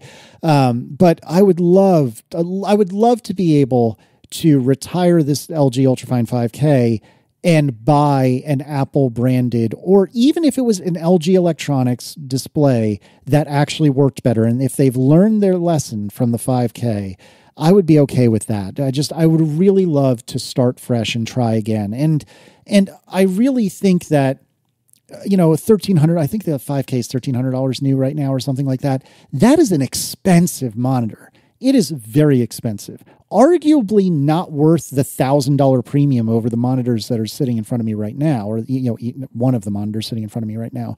But I would do it because I really love having that that five K in front of me. Um, but yeah, but yeah, and so I think an Apple branded version of that, like I would probably pay two grand for an Apple, you know, equivalent of an LG Ultrafine 5K that actually worked reliably. I would probably pay a couple thousand dollars for that. It's just there's such a gap between. There's a pretty big gap between the you know three hundred dollar monitor that I've come to like and the Ultrafine 5K, and there's just this phenomenal gap between the Ultrafine 5K and the XDR. And I really feel like there's a there's a place for at least one, if not a couple of options in that space. Now, uh, kind of tangentially related, I don't trust myself to do this mental math at this time at this hour, much less probably at any point. But nevertheless, if there was and if there was a 5K 120 hertz HDR monitor, we don't have a port that can support that without some sort of compression, right? I feel like the three of us have talked about this in the past. Yeah, I think we went through this before. I think it's it's plausible with uh, display stream compression, which gets used for the for the XDR as well in many scenarios. So so we think we so we think we could do it on today's hardware. I need Jonathan Dietz to go through the math again, but yeah, I think it's plausible. Fair enough. I mean, I, I would, and that's the thing is, I think Marco has been saying this as well, and I agree with Marco. Like, if if I couldn't run at 120 hertz on an external display eh, on on the computer that's sitting on my desk right now, I'd be okay with that. If I didn't have HDR, that would that would bum me out too, but I'd be okay with that. Like I just want a reliable 5K display that works. That's all I want is a reliable 5K display that works. Yeah, and until we can, until we have those in the market, like 4K or you know HDR, HDR and 120 hertz are just like nice to have in the future bonuses. But like until the yeah, yeah. until those basics are covered, like we'll be fine. Like just give us the basics. Like that's what we need. We, the rest of the stuff you can deliver that when you can. Uh, I feel like it's starting to be table stakes. I mean, we just assume the big iMac's going to have all that stuff. We know the laptops have it, so it's kind of. I know you don't need it to code. Like I know you don't need HDR or 120 hertz to code and it'll be fine. But eventually, it just becomes kind of the baseline, and you feel disappointed if you don't get it. Kind of like 24 bit color. Uh, for I think you PC losers spent decades being like 24 bit colors. Who needs all those colors? That's ridiculous. But I have eventually those. it just becomes the baseline, and now we'd never go to the you know system preferences to a colorist and pick uh, you know what is it four eight sixteen uh 256 thousands and millions those or something like that used to be the choices in mac os that doesn't exist anymore 24 bit is just the baseline i don't need all those colors it's ridiculous uh, eventually i feel like HDR and in, fact improving HDR in terms of like you know what is the what is the maximum brightness? Can you do it full screen versus a 10% window or whatever? I mean, not this year maybe but like in a few years just like retina eventually became the floor and we made fun of the remaining non-retina monitors HDR and high refresh will be the floor eventually too Uh, agreed. I just don't know how long that infinite or really ultimately finite timescale is. I, uh, but but you know this this is the year when I feel like every single Mac that Apple sells that has a monitor or can attach to a monitor is probably going to be HDR and and high refresh. I, I think you're probably right. Like that's that is probably what's going to happen. But I also agree with Casey that like we don't need that. At like I'm perfectly like the the other day I noticed 120 hertz on my laptop. I think for the first time. Like What I was you doing? scrolling I was scrolling something, I think a tweetbot list, and that happened to be whatever combination of of, you know, conditions makes it run at 120 hertz. And I was like, "Oh, that's pretty smooth." But then I instantly forgot about it once I did anything else, and it's fine. Like uh, until I have 120 hertz everywhere, I'm not really going to notice its absence. I think. Yeah, yeah, I agree. Uh, So I, I do think this is, you know, to tr- try to put a positive spin on this. I do think this is great news that there's at least some amount of smoke that there is a fire being built within Apple to to to make some sort of new monitor. I I really really hope that this comes true. And and I know the Apple way uh, maybe not in the last six months to a year, but for a long time, the Apple way was, you know, here's our six thousand dollars six six K monitor, and if you don't want that, then kindly piss off and get one of these, uh, you know, pedestrian three hundred dollar ones that only losers use. And I really think that there is room for, I I, I think there's room for a twenty four inch and a twenty seven inch and a thirty two inch. I would love to see all three of those, and we'll see what happens. My but- concern is that if they're making a 24, that probably means the 27 is going to be really expensive, and that's why they have to make a 24. Maybe, maybe, and and uh, obviously, you know, again, I have my hopes for a 5K, but if I had a 4K that was 100% rock solid, which is so far what I'm looking at right now, that wouldn't be so bad. So we'll we'll see. I don't know. I'm I'm really really hopeful that this will be a springtime surprise sometime next year. Although I don't actually expect it to be by any stretch of the imagination. We are sponsored this week by Squarespace. Start building your website today at squarespace.com/atp. Enter offer code ATP at checkout to get 10% off. Make your next move with Squarespace. Squarespace makes it very easy to make websites. And there are so many things these days that need websites. Obviously, this is not news to you. You know this. You're listening to a nerd show. You know about websites. You also probably know how to make websites. But there's also a lot of times where making it yourself from scratch or setting up your own server is not really warranted for the kind of site or the project that you're working on. Or it's really hard to set up the kind of site you're working on. Like if you want to set up your own storefront or like your own podcast hosting and things like that, that can be pretty hard to do yourself. Squarespace makes all of that super easy. So whether you're doing a simple site with a few pages of info to something like a full-blown store, Squarespace does all of that with ease regardless of your skill level. There is no coding required. You never have to see any kind of source code or anything. You don't have to deal with server maintenance or installing packages or security updates. They handle all of that stuff behind the scenes for you. So you just focus on the site. It's fantastic. So you even as a nerd who can do this yourself, you save tons of time and don't add stuff to your plate.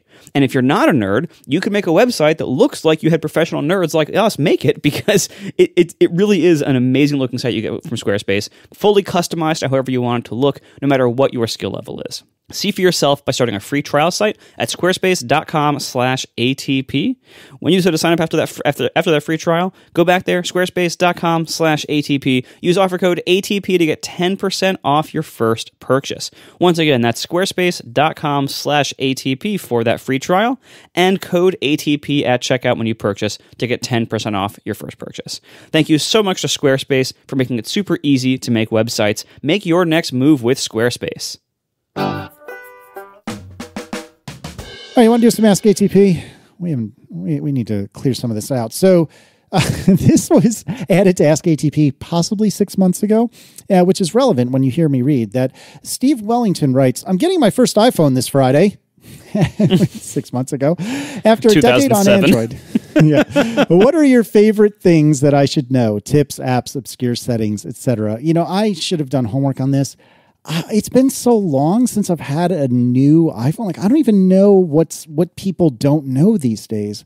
I, I, I don't I don't think I put this in. So I don't know. Whoever put this in, you got to have some idea of some good tips, and maybe that'll spur my memory and make me think of others. What do you guys got? I suggest Overcast for your podcast needs. Yeah, actually, yes. Use Overcast. That's a good idea. You sure you didn't put this in case? Yeah, I think you did. Did I? Well, it was so darn long ago. I've forgotten whatever I was going to say then.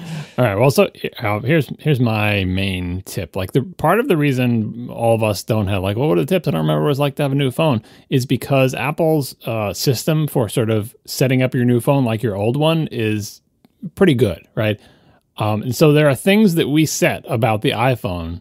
You know, some of us in 2007 that we have just never thought about or looked at again.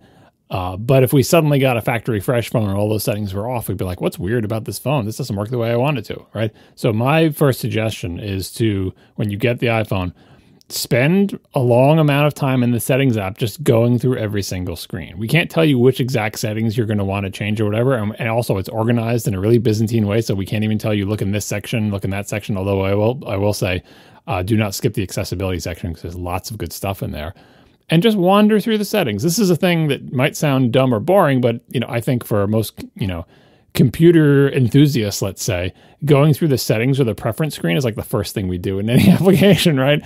What can this thing do? What can I change about it, right? What are the options that I have available? How can I customize it to be the way that I like it? And just go through literally every single setting screen, just for the phone, not for every single app, because apps also put their settings in settings, which is dumb and weird, but whatever. Um, and you will find things in there that pique your interest.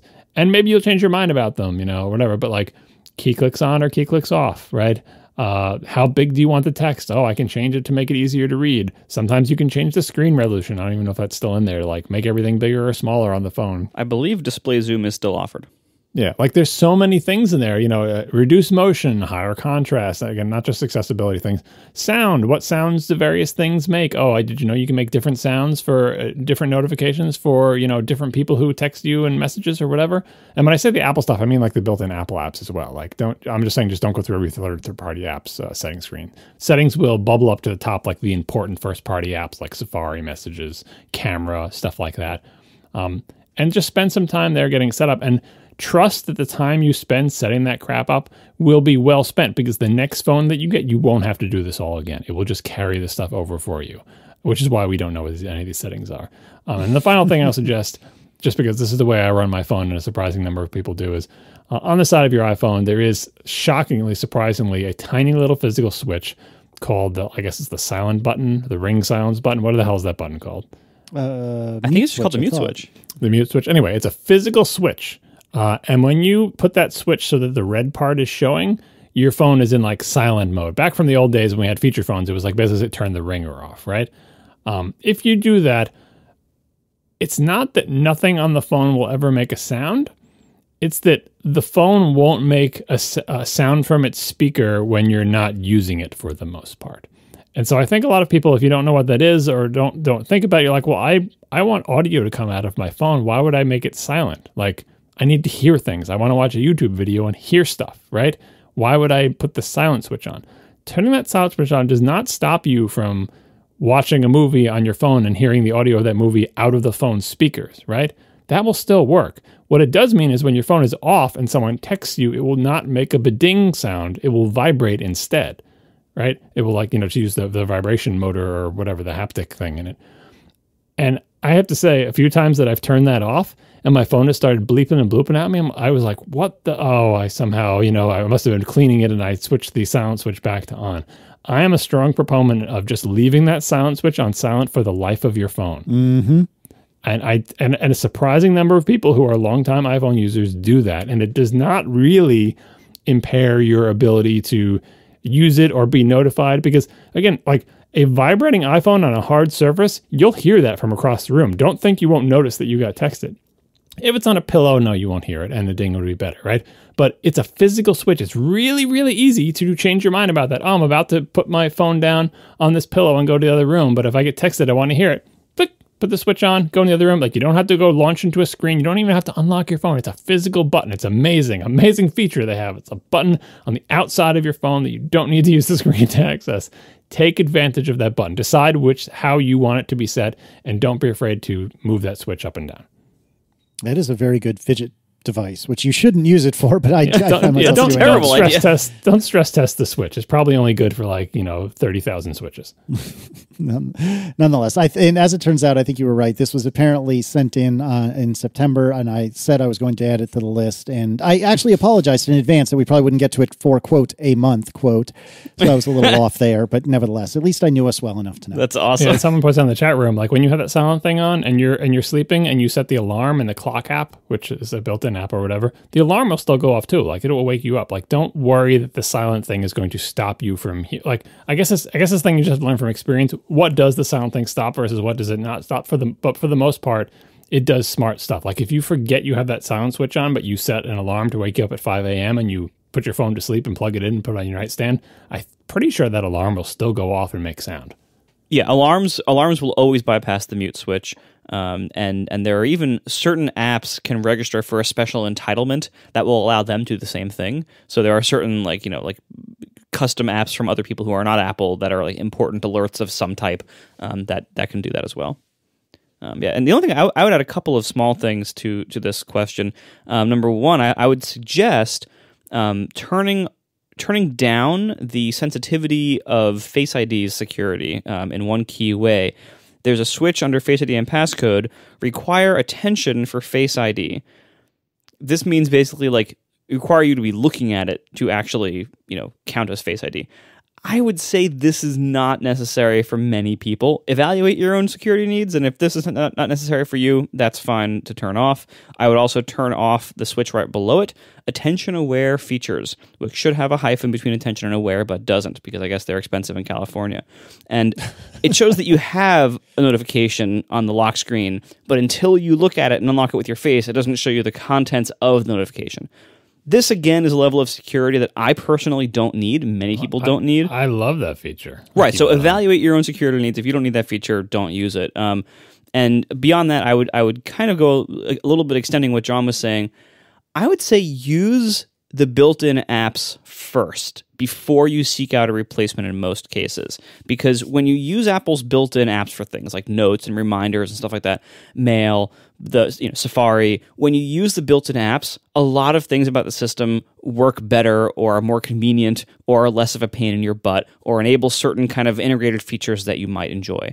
And that's part of the big benefit of apple stuff is when you when you buy in further into Apple stuff, when you use more of their integration, more of their first party apps, you get a lot more of those cool features.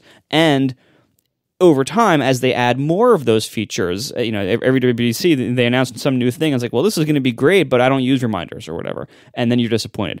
It's good to minimize those those areas that are unnecessarily using third party apps where the first party app actually would cover your needs just fine. So by default, I would say try Apple's built in stuff in most cases, except for the podcast app, which is garbage, use Overcast.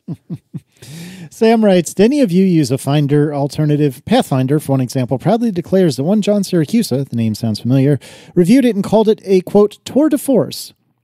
Things change over the years, so I wonder whether and you have any opinions on these apps these days. Do you use a Finder app replacement? I think that Pathfinder review was uh, got to be over a decade ago, right? I don't even want to look up how many years ago it was. Um, but Pathfinder still exists. In fact, I just recently bought the latest version of it as part of some big app bundle thing that I found myself buying. Um, so the problem with Finder alternatives is kind of like what Marco was just talking about. Uh, Apple does not make it particularly easy to supplant a lot of its built-in apps. So the part of the reason why using Safari is so convenient is, uh, well, I don't know, is this still true? Are they just they let you replace your your Mail app and your web browser on Correct. iOS now? Yeah, basically Right. to handle like Mail to and, and URL All right, links. so so I need another example, but like Apple is, has been slow on iOS in letting you replace all the built-in apps with custom versions of like reminders. I think still can't be replaced as the default, right? Um, that is correct. Yeah, reminders, um, certainly you know, things like notes and uh, Or, or things like Siri, you can't replace Siri yeah. with uh, Music, Amazon maps. right? Yeah.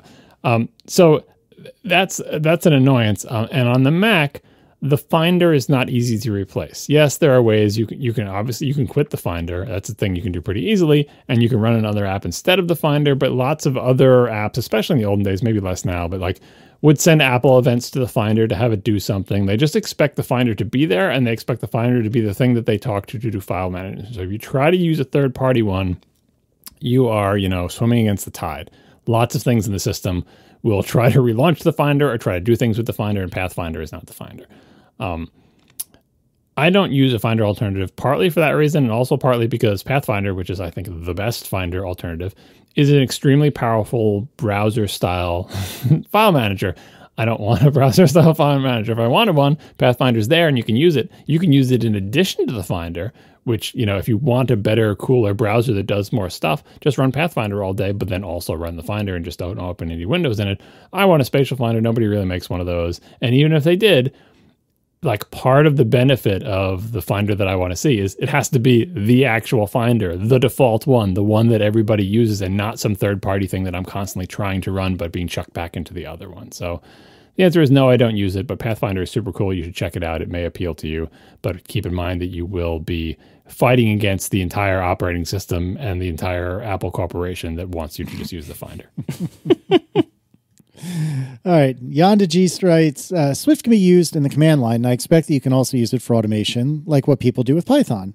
I also read that you apparently can also run Swift with Linux and Windows. Do you guys have experience in using Swift for other purposes in creating iOS and macOS apps? Uh, I do a little bit. Uh, my bespoke, uh, I'll call it a script, although it's probably more of a command line app, uh, that I use to file away my pictures, that is a Swift command line app. Uh, that's the only thing I can think of off the top of my head. Swift you know, Lattner, I think on this very program, Lattner has said, and he's certainly said in other places that he envisions Swift to, you know, uh, its goal is world domination. So you can use it, you know, for super, um, super important low level stuff, and you can use it for scripts. And yes, one could use Swift for that sort of a thing, but I wouldn't say it's terribly well positioned for that sort of a thing since it, it, really is designed to be compiled and and it's not it, it it just doesn't feel to me like it's that's the right fit that's just my experience again and like a command line app is a little bit different but for like something more along, along the lines of what i would turn to like python or or i guess if i was an old man perl or if i really liked weird technology php um, you know mm-hmm. I, I i could use one of those things and honestly if it were me if i wasn't going to use like bash or just a fish script or something like that then i would probably turn to python myself marco what's your thoughts on this I pretty much agree. A Swift while I'm developing an appreciation for it as I use it more and more in in my app development, um, what you want out of that kind of language, out of like you know a command line utilities kind of language, is a little more quick and dirty of a style of a language. And and Swift is so rigid and unforgiving. The the type strictness. I can understand the value of it when building like you know a, a, larger app you know for public distribution for something like you know a shell script or or something that is that is a quick little command line utility. Swift is just too cumbersome and and too picky. Um, the other thing I would say about Swift is that its string handling sucks. I kind of can't believe that a language developed so recently has such bad string handling. All right, now hold on, hold on. Well, it, let me let me quickly jump in first of all, string handling sucks in Swift. You're absolutely right. yeah. I, I, couldn't agree more. But I think the reason is because it's too academic and it tries to be too uh, pedantically correct in too many cases. And that's at the cost of an easy to use API surface or it, it just an easy to use API. So I understand why it sucks. And I agree with you. It sucks. I agree with you. It shouldn't suck. But there is at least a reason behind it, but it still totally sucks. Yeah, and like there's, I mean, so much of modern programming is string processing on in many ways. Like it's string processing is just everywhere. That's why it's so generally like good and friendly in most web development languages because the web uses tons of string processing and modern programming in general uses tons of string processing. And when you're dealing with command line stuff you're probably dealing a lot of string processing. And that's why perl is so often used in this way because perl was you know as for all of its weird little faults it's pretty good at string processing. Um, python I, from what i understand i don't have a lot of i don't have any experience with python really. Um, but i understand it's pretty good at it too and Swift is just terrible at string. It's just so um, cumbersome to use with strings, uh, and it seems like the API was designed, as Casey said, uh, you know, for academic perfection rather than the actual practical needs of most programmers doing string processing. So, for those reasons, it's it's just I, I could use Swift for this kind of thing, but other tools are usually better, and I will reach for them almost every time in this kind of context. So I'm going to agree with your conclusion, but not for the exact reasons that you stated. So the main problem that Swift has as a kind of like, have you used it for something that's not an iOS or Mac OS app? Like the, the type strictness is, is an issue, right? Like it, that's just the type of language it is. But most of the things you do from like, you know, like a, just a, a command line program or something that's not a GUI app or whatever, or just basic scripting – you only ever really need to deal with like one or two types. You need to deal with string, which we've talked about and I'll get back to in a second, and then some kind of numbers, right? Or if you wanted, you can just treat the numbers as strings and have some convertible thing that works in some scripting mode or whatever. That's basically it. Like, especially in one off little scripty things, you're not defining a bunch of new types and whatever. And like, if you just deal with the built in types and easy conversion between them, even if you get into things like URLs and dates, um, you, you're probably okay with the type. Like the type system is not going to kill you, right? What's going to kill you is the API, and not well. Actually, before I get to that, it's not the compiled nature either. Perl is a compiled language as well. Having a compilation phase is fine as long as it, that compilation phase is fast enough. Perl's compilation phase is so fast people don't even know exists. But Perl is a compiled language. It goes through your whole program, loads all of it and all the files that it includes and all the other things, and has a compile phase in which it compiles it before it runs it. It's a little more complicated than that, but it is not an interpreted language where it goes line by line and doesn't, you know, doesn't even know what the next line is going to be before it executes it. It compiles it. So being a compiled language is no barrier to this. And I'm, I'm assuming Python and PHP are similar in that way that they have a compile phase. Swift has a compile phase. You can use a, you can write a, a command line script Swift thing, and when it runs with the little, you know, hash exclamation point, whatever user bin Swift, it compiles it on the fly for you and runs it. You don't have to compile it, make you know like a C program and make your your a.out executable and run that. It does it does it for you, right? So that's not the barrier. The real barrier is its API is not good for those common things that I just said: strings, dates, URLs. Uh, and it's not because they're like, oh, they're academically correct and it's a hard problem. I will point to Perl. Perl has academically correct string string. I know, right? Right, yeah. Perl has academically correct string handling with all that Unicode crap in it, and it is complicated. And if you care about the nuances of Unicode normalization and all that stuff, you can do that all in Perl and fast, by the way. But if you don't care about it, Perl's API and interface to dealing with strings does not make you care about it. And Swift's API makes you not only have to care about it, like it just shoves it in your face. We just talked in the chat room. The thing we were talking about in the Slack is I want to extract a substring from a string. Swift's API has defined a substring type that is not a string. And because Swift is type safe, you can't take a substring and pass it to a function that wants a string because it's a substring. You have to construct a new string by using the string constructor on the substring you just got from a string. Nobody expects that. Nobody expects that to happen. And it's not the biggest deal in the world. It's like, oh, once you just know that, you just do it. It's like, yeah, but it's inconvenient. That that throws the type system in my face in a way that I don't want to. Or just you know, I mean, regular expressions are coming to Swift. See the Swift forums and the discussion of it. I I uh, participated in a little bit, trying to say that like, you know, the Perl motto from ages ago: easy things should be easy, hard things should be possible. Easy things are not easy in Swift, and it's not because it's a compiled language. It's not because it's a type safe language. It's because the APIs to do easy things is not easy. Like it's not convenient, right? It's not it's not like I'll just do the first thing I think and it'll probably work. If you if you have never programmed in like if you program just in one of these languages and you hop into PHP and you hop into JavaScript or you hop into Perl, you're going to guess right like more than 50% of the time about how to do stuff related to strings Or if you don't, you just look it up and it's like, oh, they spell it a little bit differently. None of that knowledge transfers to Swift. You're like, how the hell do I find, you know, do I replace a substring in a string? How do I construct a URL and get its components? It was just today a big proposal and say, oh, by the way, if you pass a string to the URL constructor, uh, constructor, if you just did URL double quote and then like a string, because of the you know a string convertible thing that they built in or whatever, even if it's like HTTP colon slash slash triple w.apple.com, it will be con- it'll construct a file URL for you out of that because the string uh, got literal converted to a file URL and then that file URL got passed to the constructor right? And so they want to make a change. It says, hey, if I pass HTTP, like, shouldn't it just look at the HTTP and realize this is not a file URL? And that's the change they're proposing. That means for years now, this behavior has gone on. If you were doing a script, you never want that to happen. You, you don't want to be surprised by stuff like that. Swift just does not have an API that lends itself to let me just write 15 lines of code and not be surprised, right? Um, and Arguably, all those same things make it more annoying to use in quote unquote real apps too, but it's more tolerable in real apps because it's like, well, this is a more serious endeavor. I should think more about my types or whatever. When you're doing a one off script, it's not that you don't want to deal with the types at all or anything like that. You just want to, you just want the obvious thing to work and you want easy things to be easy. And that's where Swift is falling down as a scripting language. And then the final thing on that is all three of us, I think, prob well, maybe not Casey, no, probably still Casey. Uh, I think we all know some other language better than we know Swift that is better at this job. Marco knows PHP better than he knows Swift. I know Perl better than I know Swift. Maybe Casey knows Python or something better than he knows Swift for these purposes.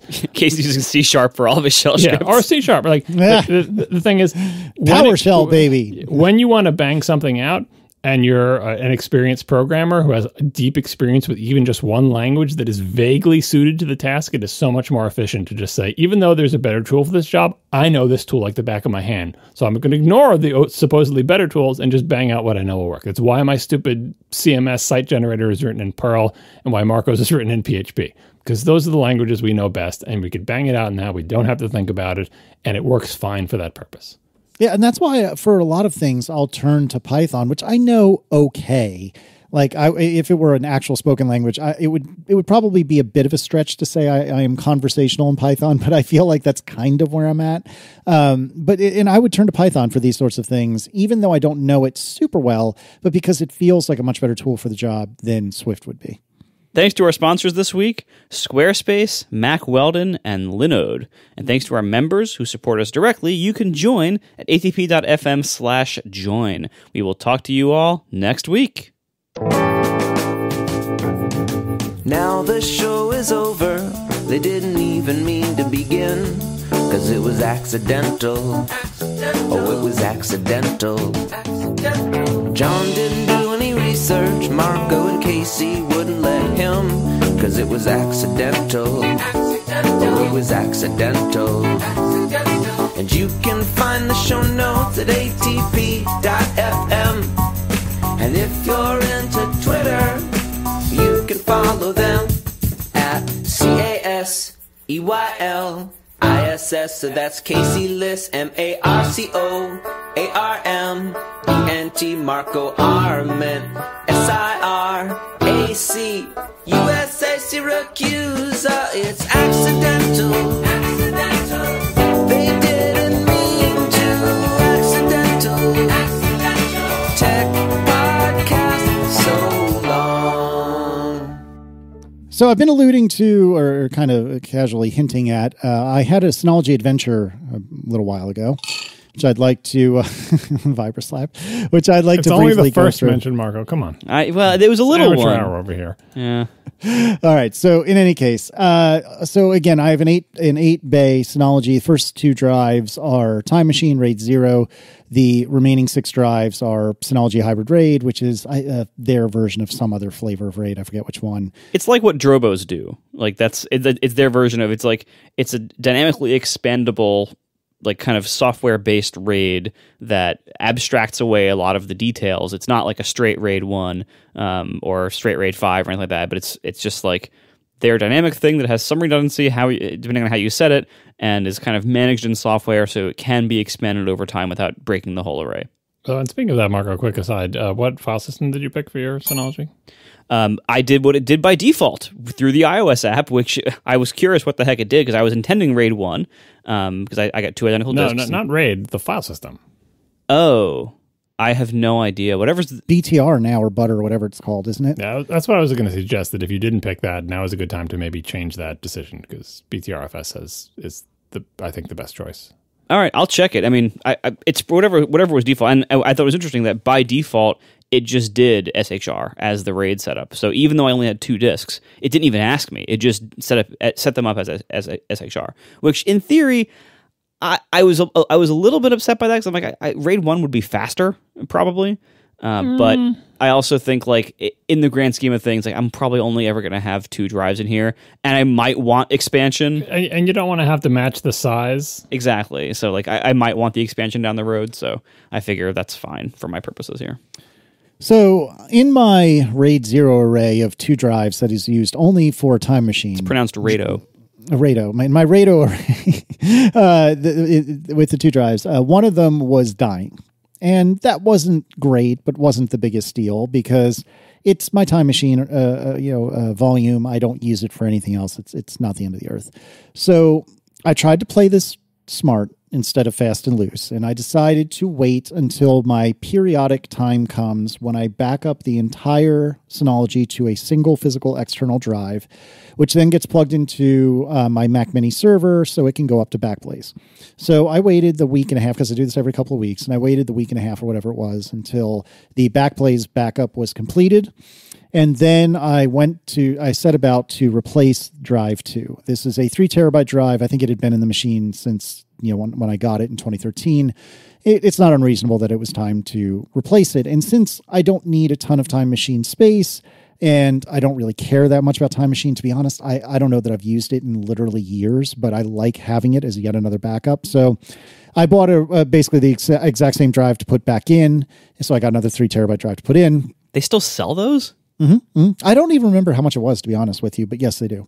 Um, so I decide to, I, I think to myself, well, I'm pretty sure this mach- this DS1813 Plus can hot swap. Why don't I just do that? I always used to shut it down when I was, you know, doing a, a What, drive what swap. do you think? You, hot swapping to you just means I didn't have to turn the power off to the thing to take out the drive, but it's RAID zero. Like the thing, you can't take out one of the drives. Right, right, right. No, no, totally. I knew I was going to have to. I knew I was going to lose everything. I knew I was going to have to re- recreate the volume and so on and so forth. But could I just hot swap the physical drive and have the Synology understandably freak out and then tell it, you know, just get, put everything back, please? I, I- to be kinder to the thing, what I would have done is destroyed the volume, destroyed the RAID zero volume, and just said, now you just have two empty disks. And then, if you want to do a hot swap experiment, leave the thing on and yank out the drive. That see, this is why you're smarter than me because that didn't even cross my mind. It didn't even cross my mind.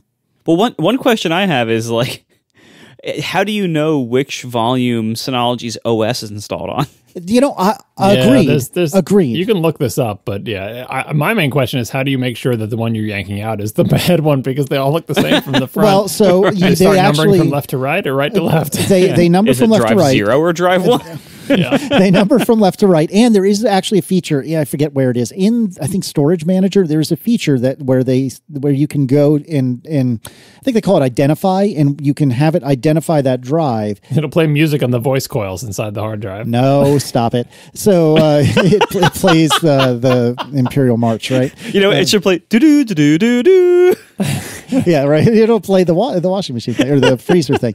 Um, so no, what it does is it turns the the light on that particular drive amber instead of green, and because at this point it was dying, it was not dead, so it was still showing green What made you think that it was dying, by the way? because it said it, it- I got emails about it literally every day All or two what did, it, saying. what did it say? I forget. I could dig it up, but I Because I like, get it- periodic emails about my drive help too, and I think it said it would like- kept reconnecting or something like that. Oh, I forget all right, exactly all right, what I it was. I haven't gotten that message. Um, so anyway, so I decided to hot swap, and you you you two are a thousand percent correct. I should have destroyed the volume first, and so on and so forth, but I didn't. I just hot swapped it, and everything took a dump. Everything took a real big dump. So it, I tried to do that, and Suddenly, the web interface kind of stops responding, which was not entirely Oh, no. surprising, but I'm thinking this is not good. Was it the OS drive?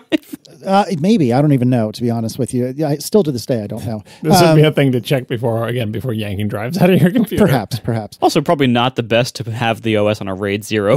Well, but, uh, what, I don't even know how to move it. Like, even if that's true, listener, if, if that's It- true, it's not. It's not about moving it. It's about not creating like when you do like volume groups. Don't create any new volumes in the volume group that has the OS on it. Well, I mean, it's a bit late for that now, isn't it, gentlemen? So anyway, um, so I, I uh, everything takes a dump. You know, the web the web interface uh, isn't really working, or it's sort of working. It's like I'm on a like a you know 1400 baud modem. Occasionally, it'll work a little bit, then just kind of crash, uh, or not. I shouldn't say crash. It just doesn't really do anything. I try entering my username and password, and that doesn't really work.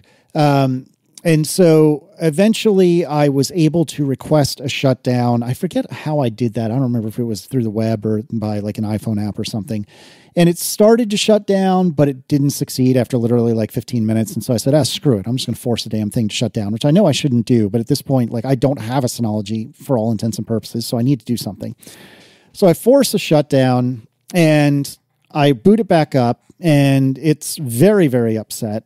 And it wants me to enter uh, username and password. And I try entering my username and password and it doesn't accept. Or I tried entering my username and password and it accepts it, but it refuses to accept my one time password, you know, the little six digit thing. And I try that and I try that and I keep trying that and it's still not working. And now I'm running out of chances before it like locks my entire account out. So then I think to myself, all right, well, surely I will try to use, uh, all right, surely I can use the admin account, you know, the, the out of the box administrative account, which I know I've changed the password for, and there's only three or four options of passwords I would likely use for it. So I'll try that. And that doesn't work. So let's recap. I have a Synology that has eventually booted itself and it is literally beeping because, you know, the volume has crashed. So it wants my attention. It is booted, but I can't log in using the login I usually use. I don't think I have any other administrative logins except the actual admin, administrator account, which it won't accept the password for that either. So I literally cannot log into my Synology. What do you do? Quick, quick real time follow up, by the way, about about the operating system. Uh, someone in the chat room said, and I just did a quick Google that found at least some supporting evidence that Synology stores the OS and all of the data related to the OS on all of the hard drives. Oh, that's cool. So as long as as long as you have one disk that still works, you should, in theory, have your OS and all your settings. That does not necessarily mean that Casey hasn't hosted himself. So continue your story. All right, so so pop quiz hotshot. You can't log in with your username, password, and one-time password. You can't log into it in, with an administrator account. What do you do? You have physical access to the machine. You can boot it with like the firmware mode and go into officially si- single user mode. You know what I mean? yeah, isn't there like a reset hole in the back? There is a reset hole. No, just single single user mode. Like it, back in the old days in regular Unix, you could boot into single user mode where it's not in multi user and the one because you have physical access and there's some you know thing you have to press to make that happen. But then you are essentially root on the thing and you can fix whatever's broken. So what you can do, and double check me on this if you're listening, for the love of all that is good and holy, double check me on this because I Googled to figure out the right answer. But there is a reset hole with a button within it uh, in the back of the machine. And if you, I, I forget the details, but if like if you press it for a small amount of time, it will basically reset like the administrative password or something like that, if I remember right. But if you hold it for a really long time, it will straight up reset everything. And if you hold it long enough, it will straight up reset everything to the point that you lose your data. So there's like two or three stages of reset.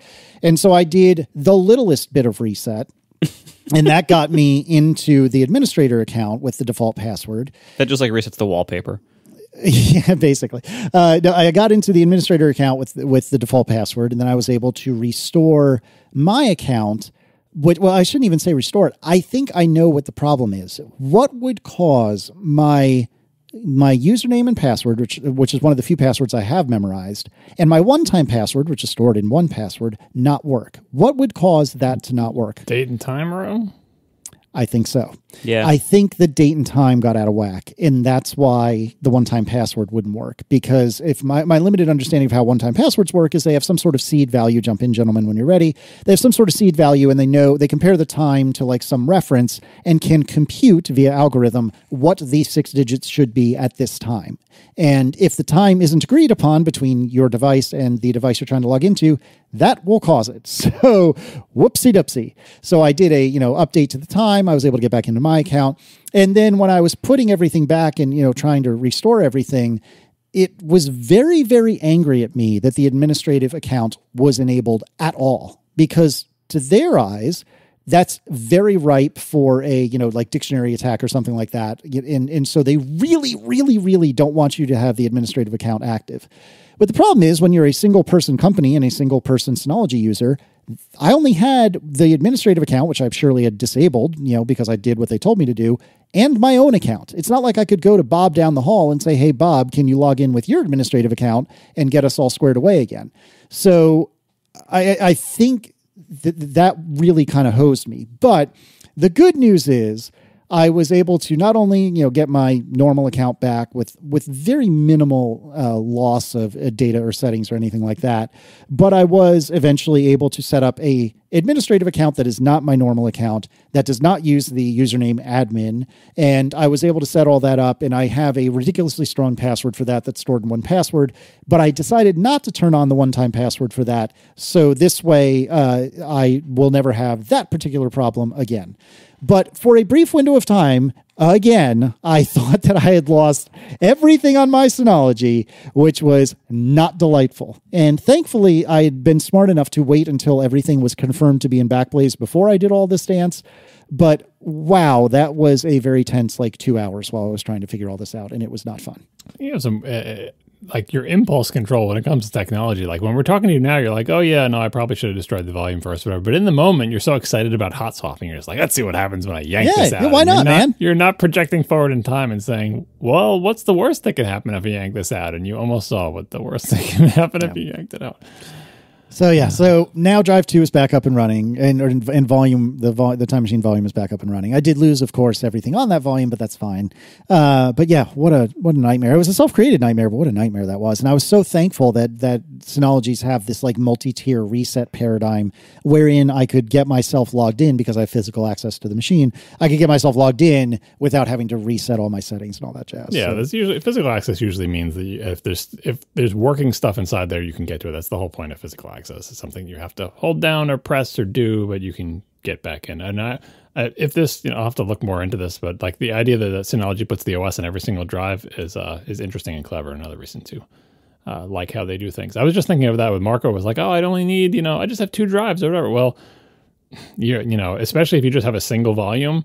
Uh, you're like, if one of them goes bad, who cares? I'm assuming you'll have to reset up your whole OS, right? Because if you destroy that volume and it's the only volume, you've also destroyed all your settings and stuff. If like a disk went bad, like if you RAID zero it, is what I'm saying. It's like because you don't have a second place for the OS to be, you have a single RAID zero volume.